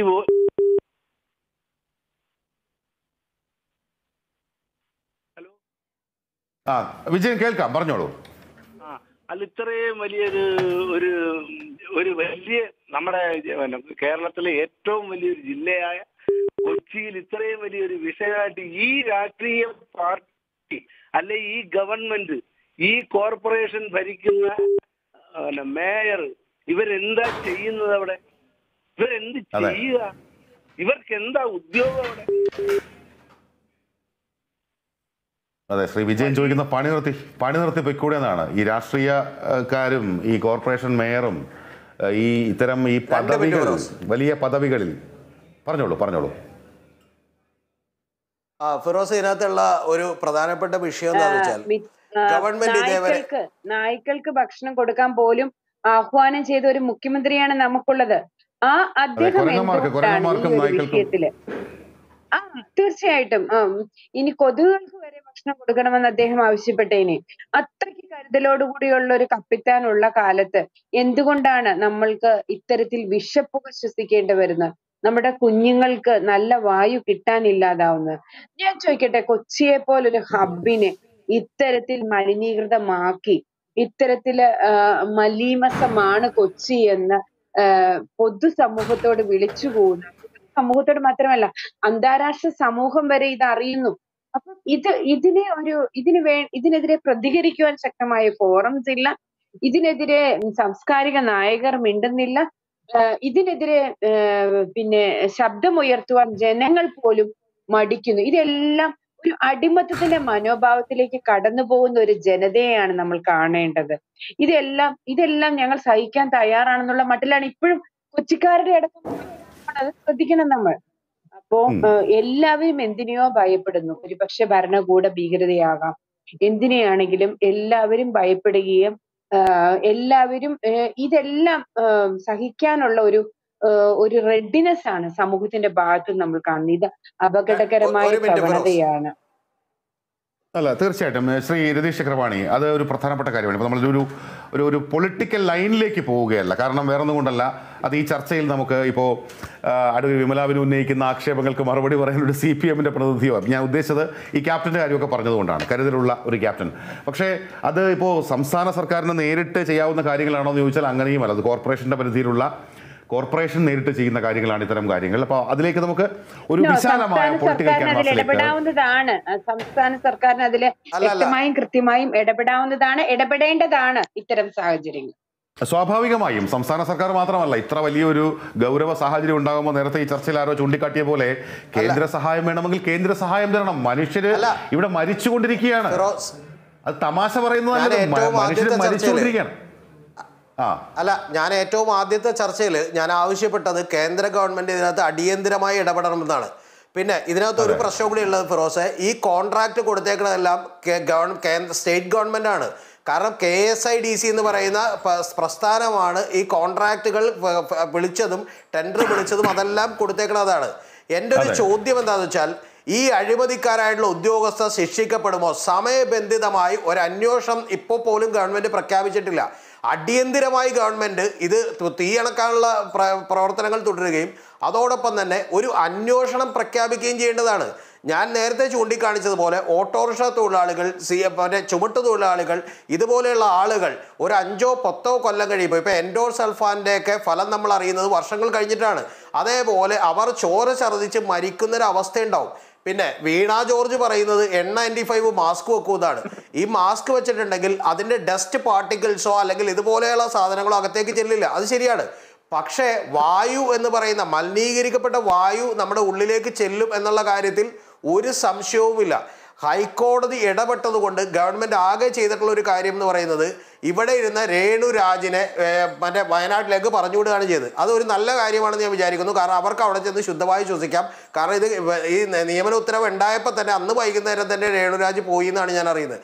അപ്പോൾ ഇത്തരത്തിലുള്ള ഒരു വിധത്തിലുള്ള അക്കൗണ്ടബിലിറ്റി ഇല്ലാത്ത ഒരു ഉത്തരവാദിത്വമില്ലാത്ത ഗവൺമെന്റാണ് കാരണം ഗവൺമെന്റ് ഇതേവരെ ഒരു അന്വേഷണം പ്രഖ്യാപിക്കുകയോ സമയബന്ധിതമായി ഇതിലുള്ള ഉദ്യോഗസ്ഥരെയും അഴിമതിക്കാരായ രാഷ്ട്രീയക്കാരെയും ശിക്ഷിക്കും എന്ന് പറയുന്ന ഒരു തോന്നൽ അതുപോലും ഈ കൊച്ചിക്കാർക്ക് പറഞ്ഞതുകൊണ്ടാണ് ശ്രീ ശ്രീ രതീഷ് ചക്രവാണി അങ്ങനെ പറഞ്ഞതുകൊണ്ടാണ് ഒരു വ്യക്തിപരമായുള്ള കുറ്റപ്പെടുത്തലൊന്നുമല്ല. അപ്പോൾ രേ- രേണുരാജ് ആകട്ടെ മറ്റൊരാളാകട്ടെ. ഒരു ഒരു ഒരു ഒരു- ഒരു സംസ്കാരത്തിന്റെ പ്രശ്നം കൂടിയുണ്ട്. അതായത് ഈ കൊച്ചി ഇങ്ങനെ വിഷപ്പുകയും ശ്വസിച്ച് ശ്വാസം മുട്ടി ഗ്യാസ് ചേമ്പറിൽ കഴിയുമ്പോൾ വനിതാ ദിനം ആഘോഷമാക്കാനുള്ള വലിയ സന്നാഹങ്ങൾ ഒരുക്കുകയായിരുന്നു നമ്മുടെ കളക്ടർ രേണുരാജ്. അതടക്കമുള്ള കാര്യങ്ങളുണ്ട്. അത് രേണുരാജിന്റെ വ്യക്തിയുടെ പ്രശ്നമല്ല. അത് ഒരു ഒരു കൾച്ചറിന്റെ ഭാഗമാണ്. പ്രത്യേകിച്ചും കൊച്ചി പോലൊരു സ്ഥലത്ത് സ്വാഭാവികമായും സംഭവിക്കുന്ന കാര്യങ്ങളായിരിക്കാം. അതിൽ ആ പറഞ്ഞോളൂ. അല്ല ഞാൻ രേണു രേണുരാജിനെ കുറ്റപ്പെടുത്തിയതല്ല. കാരണം രേണുരാജിന് ഈ തീയണക്കാനുള്ള കാര്യത്തിൽ ഒന്നും ചെയ്യാൻ കഴിയില്ലായിരുന്നു. അവർ നിസ്സഹായരാണ്. പക്ഷെ അവരെ ബലിയാടാക്കുകയാണ് ചെയ്തിട്ടുള്ളത്. ഇതിൽ യഥാർത്ഥ കുറ്റവാളികളെ കണ്ടെത്താൻ ഗവൺമെന്റ് ഇതേവരെ ഫിറോസ് അറിയേണ്ടത് ഒരു അന്വേഷണം പോലും പ്രഖ്യാപിച്ചിട്ടില്ല എന്നാണ് ഞാൻ പറയുന്നത്. അത്തരത്തിലൊരു അന്വേഷണം പ്രഖ്യാപിക്കാൻ പോലും ഇതുവരെ ഒരാവശ്യം ആവശ്യം പോലും നമ്മുടെ പൊതുജനങ്ങളിൽ നിന്ന് ഉയർന്നിട്ടില്ല. ഞാൻ രണ്ട് പേരിലേക്കും വരികയാണ്. ഒരു പ്രേക്ഷകൻ കൂടി നമുക്കൊപ്പം ചേരുന്നുണ്ട്. അജി കുഞ്ചുമൂരിലേക്ക് എനിക്ക് പോകണം. ഹലോ? ഹലോ? ഹലോ? ആ സംസാരിച്ചോളൂ. ഹലോ?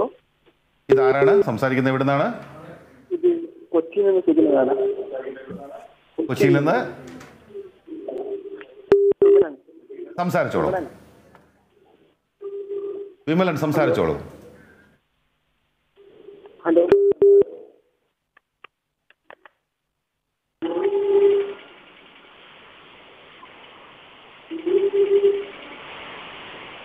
ഹലോ. ആ മറ്റൊരു പ്രേക്ഷകനാണ് ഇപ്പോൾ നമുക്ക് സംസാരിക്കുന്നത്. ഹലോ. ഹലോ.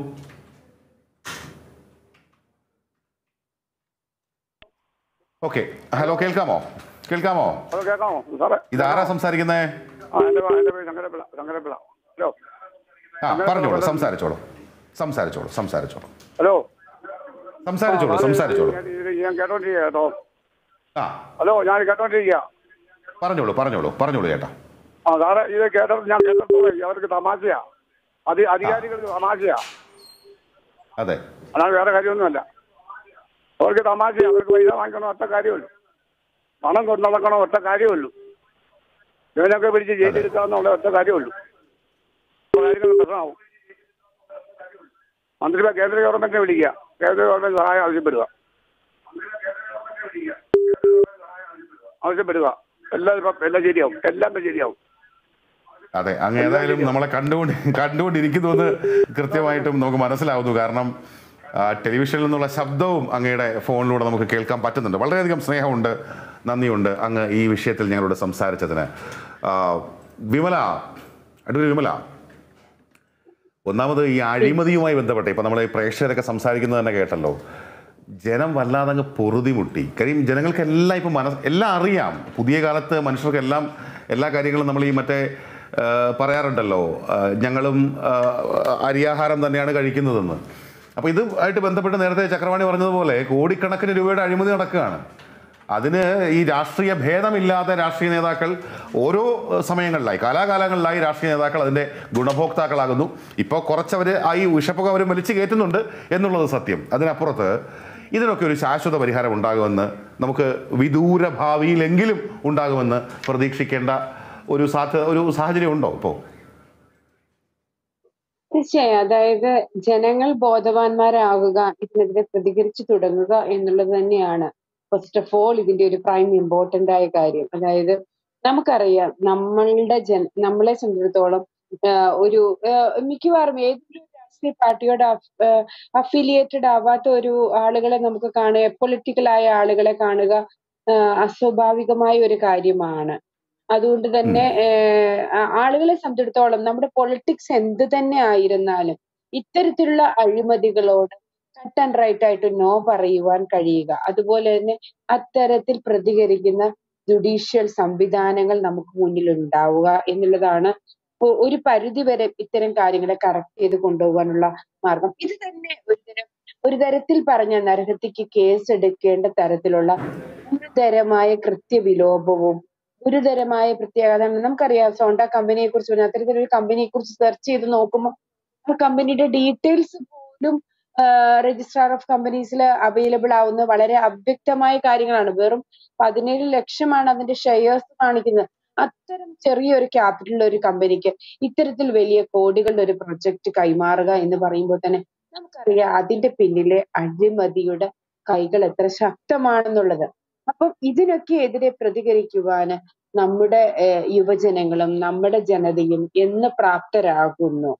അന്നേ മാറ്റി തുടക്കം കുറിക്കാൻ നമുക്ക് കഴിയും. നമുക്കറിയാം നമുക്ക് എപ്പോഴും ഈ ഇലക്ഷൻ ആകുമ്പോഴത്തേക്ക് കുറെ പി ആർ ഏജൻസികളുടെ പി ആർ വർക്കിലുകളിലോട്ട് വീഴുകയാണ്. അപ്പോൾ ഈ പറഞ്ഞ പോലെ ചെറിയ ഏതെങ്കിലും ഒരു ടാക്ടിക്സ് യൂസ് ചെയ്യുന്നു. ഒരു കിറ്റ് ആവാം അല്ലെങ്കിൽ മറ്റെന്തെങ്കിലും ഒരു സാധനമാവാം.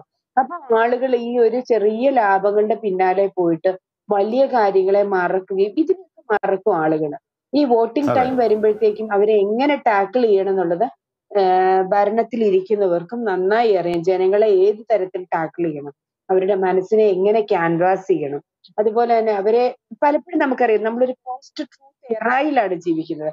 അതായത് നിരന്തരം കൽപ്പിത കഥകൾ സൃഷ്ടിച്ചും നുണകൾ മെനഞ്ഞും അത് സമൂഹത്തെ വിശ്വസിപ്പിച്ചെടുക്കുന്ന ഒരു കാലഘട്ടത്തിലാണ് നമ്മളുള്ളത്. അപ്പം. എന്താണ് മീഡിയാസ് കമ്മ്യൂണിക്കേറ്റ് ചെയ്യുന്നത്? അതിന്റെ പിന്നാലെയാണ് ജനങ്ങളുടെ ഒരു പൊതു ബോധം ഉരുത്തിരിഞ്ഞു പോവുക. അല്ല നരഹത്യക്ക്. കേസെടുക്കണം. അഭിഭാഷകയായ വിമലാബിനു പറഞ്ഞ ഏറ്റവും പ്രധാനപ്പെട്ട നരഹത്യക്ക് കേസെടുക്കണം വേണമെങ്കിൽ. അല്ലെങ്കിൽ വേണമെങ്കിലല്ല നരഹത്യക്ക് കേസെടുക്കണം. ഇപ്പോൾ കോർപ്പറേഷന്റെ അധികാരികൾക്കെതിരെ മേയർക്കെതിരെ അല്ലെങ്കിൽ ജില്ലാ ഭരണകൂടത്തിനെതിരെ എടുത്ത കളക്ടർ ഉണ്ടെങ്കിൽ കളക്ടർക്കെതിരെ അത്തരത്തിൽ ഈ സംവിധാനം നേരാവണ്ണം കൊണ്ടുപോകാൻ കഴിയില്ലെങ്കിൽ ഇറങ്ങി പോകണം സാർ എന്ന് ജനങ്ങൾ മുഖത്ത് നോക്കി പറയുന്ന ഒരു ആർജവമുള്ളൊരു ജനതയുടെ പ്രശ്നം കൂടി ഇവിടെ ഉണ്ട് ഞാൻ വരികയാണ്. അജി അജി കുറേ ദിവസമായിട്ട് ഈ കൊച്ചിയിലൂടെയൊക്കെ സഞ്ചരിക്കുകയാണല്ലോ ഈ വിഷപ്പുകയൊക്കെ ശ്വസിച്ച്. അജി എന്തുകൊണ്ടാണ് എന്താണ് ഈ ഒരു പൊതുവികാരം എന്താണ്? ആർക്കെതിരെയാണ് വികാരം? അല്ലെങ്കിൽ ഇത് ഇത് ഇനിയിപ്പോൾ എന്തെങ്കിലും ആയിക്കോട്ടെ ഞങ്ങളൊക്കെ സഹിക്കാം എന്നുള്ളതാണോ? അല്ലെങ്കിൽ പുക കെടുമ്പോൾ കെട്ടോട്ടെ എന്നാണോ? ഒരു ശരാശരി കൊച്ചി നിവാസിയുടെ മനസ്സെന്താണ്? അജി.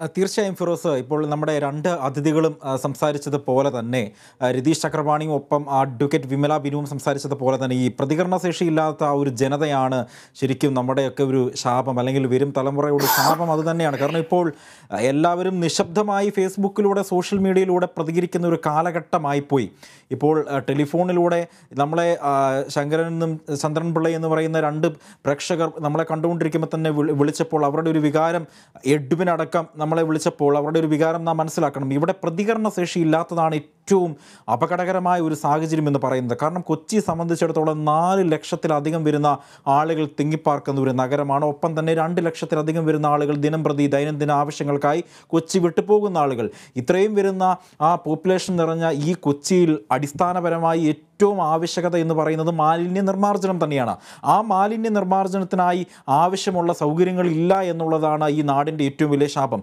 ഇപ്പോൾ ബ്രഹ്മപുരത്ത് മാലിന്യ സംസ്കരണ പ്ലാന്റ് എന്ന് നമുക്ക് അതിനെ ഒരു കാരണവശാലും വിശേഷിപ്പിക്കാൻ പറ്റില്ല. കാരണം മാലിന്യം ഡബ് ചെയ്യുന്ന ഒരു സ്ഥലമാണ് ഈ ബ്രഹ്മപുരം മാലിന്യ സംസ്കരണ പ്ലാന്റ്. രണ്ടായിരത്തി എഴുപതിൽ എങ്ങനെയാണ് കൊച്ചി കൊച്ചിയിലെ മാലിന്യ സംസ്കരണം നടപ്പിലാക്കേണ്ടത് എന്ന് ചിന്തിക്കേണ്ടത് രണ്ടായിരത്തി ഇരുപത്തി മൂന്നിൽ തന്നെ ചിന്തിച്ചാൽ മാത്രമേ രണ്ടായിരത്തി എഴുപതിൽ അത് നടപ്പിലാക്കാൻ പറ്റൂ. അതിന് ദീർഘവീക്ഷണം എന്നൊരു സംഭവമുണ്ട്. ആ ദീർഘവീക്ഷണം ഈ കൊച്ചിൻ കോർപ്പറേഷൻ ഇല്ലാതെ പോയതിന്റെ പശ്ചാത്തലമാണ് ഇപ്പോൾ നമ്മൾ ഫിറോസും ഈ അതിഥികളടക്കം ഈ വിഷപ്പുക ശ്വസിക്കേണ്ട ഒരു അവസ്ഥ വന്നത്. ഈ വളരെ പ്രധാനപ്പെട്ട കാര്യമാണ്. അതായത് അതൊരു മാലിന്യ സംസ്കരണ പ്ലാന്റ് എന്ന് നമുക്ക് പറയാൻ കഴിയില്ല. കാരണം അവിടെ മാലിന്യ സംസ്കരണമല്ല നടക്കുന്നത്. അതൊരു ഡംപിംഗ് സ്റ്റേഷനാണ് എന്ന് നമുക്ക് വിശേഷിപ്പിക്കേണ്ടി വരുന്നു. കാരണം ബയോ മൈനിങ്ങുമായി ബന്ധപ്പെട്ട ഒരു പരിപാടി അവിടെ നടന്നതായിട്ട് അറിയില്ല. അതുകൊണ്ടാണ് ഇത്ര വലിയൊരു ദുരന്തം. ദുരന്തം എന്ന് തന്നെ വിശേഷിപ്പിക്കേണ്ടി വരുന്നു. കാരണം അത്ര ലക്ഷക്കണക്കിന് ടൺ പ്ലാസ്റ്റിക്കാണ് കത്തിക്കൊണ്ടിരിക്കുന്നത്. ഇപ്പോഴും എൺപത്തിയഞ്ച് ശതമാനം അണയ്ക്കാൻ കഴിഞ്ഞു എന്നൊക്കെയാണ് പറയുന്നത്. പുക ഇപ്പോഴും വ്യാപിച്ചു കൊണ്ടിരിക്കുന്നു ഞാൻ ഏതാണ്ട് നമ്മുടെ സമയം ഏതാണ്ട് അവസാനിക്കുകയാണ്. ആ അതിഥികൾക്ക് എന്തെങ്കിലും ഒരു മിനിറ്റിലോ മുപ്പത് സെക്കൻഡിലോ. യെസ് ആ ഈ സമയ ഇത് ഒരു മാൻമെയ്ഡ് ഡിസാസ്റ്റർ ആണ്. കറക്റ്റായി ഫിറോസ് പറഞ്ഞതുപോലെ തന്നെ. രണ്ടാമത് ഈ സമയത്ത് ഒരു കാര്യം കൂടി മനസ്സിലാക്കേണ്ടത്. മുഖ്യമന്ത്രിയും അതുപോലെ മന്ത്രിമാരും പോയി യൂറോപ്പിലെയും ജപ്പാനിലെയും ഒക്കെ മാലിന്യ സംസ്കരണ പ്ലാന്റുകൾ കണ്ട് പഠിച്ചതാണ്. എന്നിട്ട് ഇപ്പോൾ ഇവിടെ ഒന്ന് എന്താണ് ചെയ്യുന്നതെന്ന് വെച്ചിട്ടുണ്ടെങ്കിൽ കാറിൽ പോകുന്നവരോട് ഈ സമയത്ത് പൊല്യൂഷൻ സർട്ടിഫിക്കറ്റ് ചോദിക്കുകയാണ്. രണ്ടാമത്തത് സിഗരറ്റ് വലിക്കുന്നവരെ പിടിച്ചിട്ട് അഞ്ഞൂറ് രൂപ ഫൈൻ ഈടാക്കുകയാണ്. ഇതുപോലെയുള്ള ആഭാസത്തരങ്ങളും വൃത്തികേടുകളുമാണ് നമ്മുടെ സ്റ്റേറ്റിൽ ഇപ്പോൾ നടന്നുകൊണ്ടിരിക്കുന്നത് ഫിറോസ്. സത്യമാണ്. നമ്മൾ വീട്ടിന്റെ പരിസരത്തിട്ടം കാണും പ്ലാസ്റ്റിക് കത്തിച്ചു കഴിഞ്ഞാൽ അപ്പോഴേ പിടിച്ച് പെറ്റിയടിക്കും പിഴയടയ്ക്കും ഹരിതകർമ്മസേന വന്ന് പ്ലാസ്റ്റിക് കൊണ്ടുപോകുന്നു. എന്തൊക്കെയാണ് സത്യം പറഞ്ഞാൽ? മലപ്പുറം കത്തി അമ്പ് വില്ല് എന്ന് പറയുന്നത് പോലെയാണ് കാര്യങ്ങൾ. പക്ഷേ ഇവിടെ കൊച്ചി കഴിഞ്ഞ പതിനൊന്ന് ദിവസമായി പതിനൊന്ന് ദിവസമായി വിഷപ്പുക ശ്വസിച്ച് കൊച്ചി ശ്വാസം മുട്ടി ഒരു ഗ്യാസ് ചേംബറിൽ എന്ന പോലെ കഴിയുന്നു. അധികൃതർ ഇപ്പോഴും കുറേ വിശദീകരണങ്ങൾ ഇങ്ങനെ നിരത്തിക്കൊണ്ടിരിക്കുകയാണ്. ഏതായാലും അത്യന്തം ഗൗരവതരമായ ഒരു സാഹചര്യം അത്യന്തം നിർഭാഗ്യകരമായ ഒരു സാഹചര്യം. അഡ്വക്കേറ്റ് വിമല ബിനു പറഞ്ഞതുപോലെ ഇതിന്റെ ഉത്തരവാദികൾക്കെതിരെ നരഹത്യക്ക് കേസെടുക്കേണ്ട തക്കവണ്ണമുള്ള അതീവ ഗുരുതരമായ സാഹചര്യം കൊച്ചി ശ്വാസം മുട്ടിക്കൊണ്ടിരിക്കുന്നു സ്നേഹം അറിയിക്കുകയാണ് ശ്രീ രതീഷ് ചക്രവാണി അഡ്വക്കേറ്റ് വിമല ബിനു. ഒപ്പം ഞങ്ങളോട് പ്രതികരിച്ച പ്രേക്ഷകർ കൗൺസിലർ കൊച്ചി കോർപ്പറേഷന്റെ കൗൺസിലർ സുനിത ഡിക്സൺ. എല്ലാവർക്കും സ്നേഹം അറിയിക്കുന്നു. ഈ ചർച്ചയിൽ നിന്ന് വിടവാങ്ങുകയാണ്. ഇനി അടുത്ത വാർത്തകൾക്ക് പ്രധാനപ്പെട്ട വാർത്തകൾക്കുള്ള സമയമാണ്. നമസ്കാരം.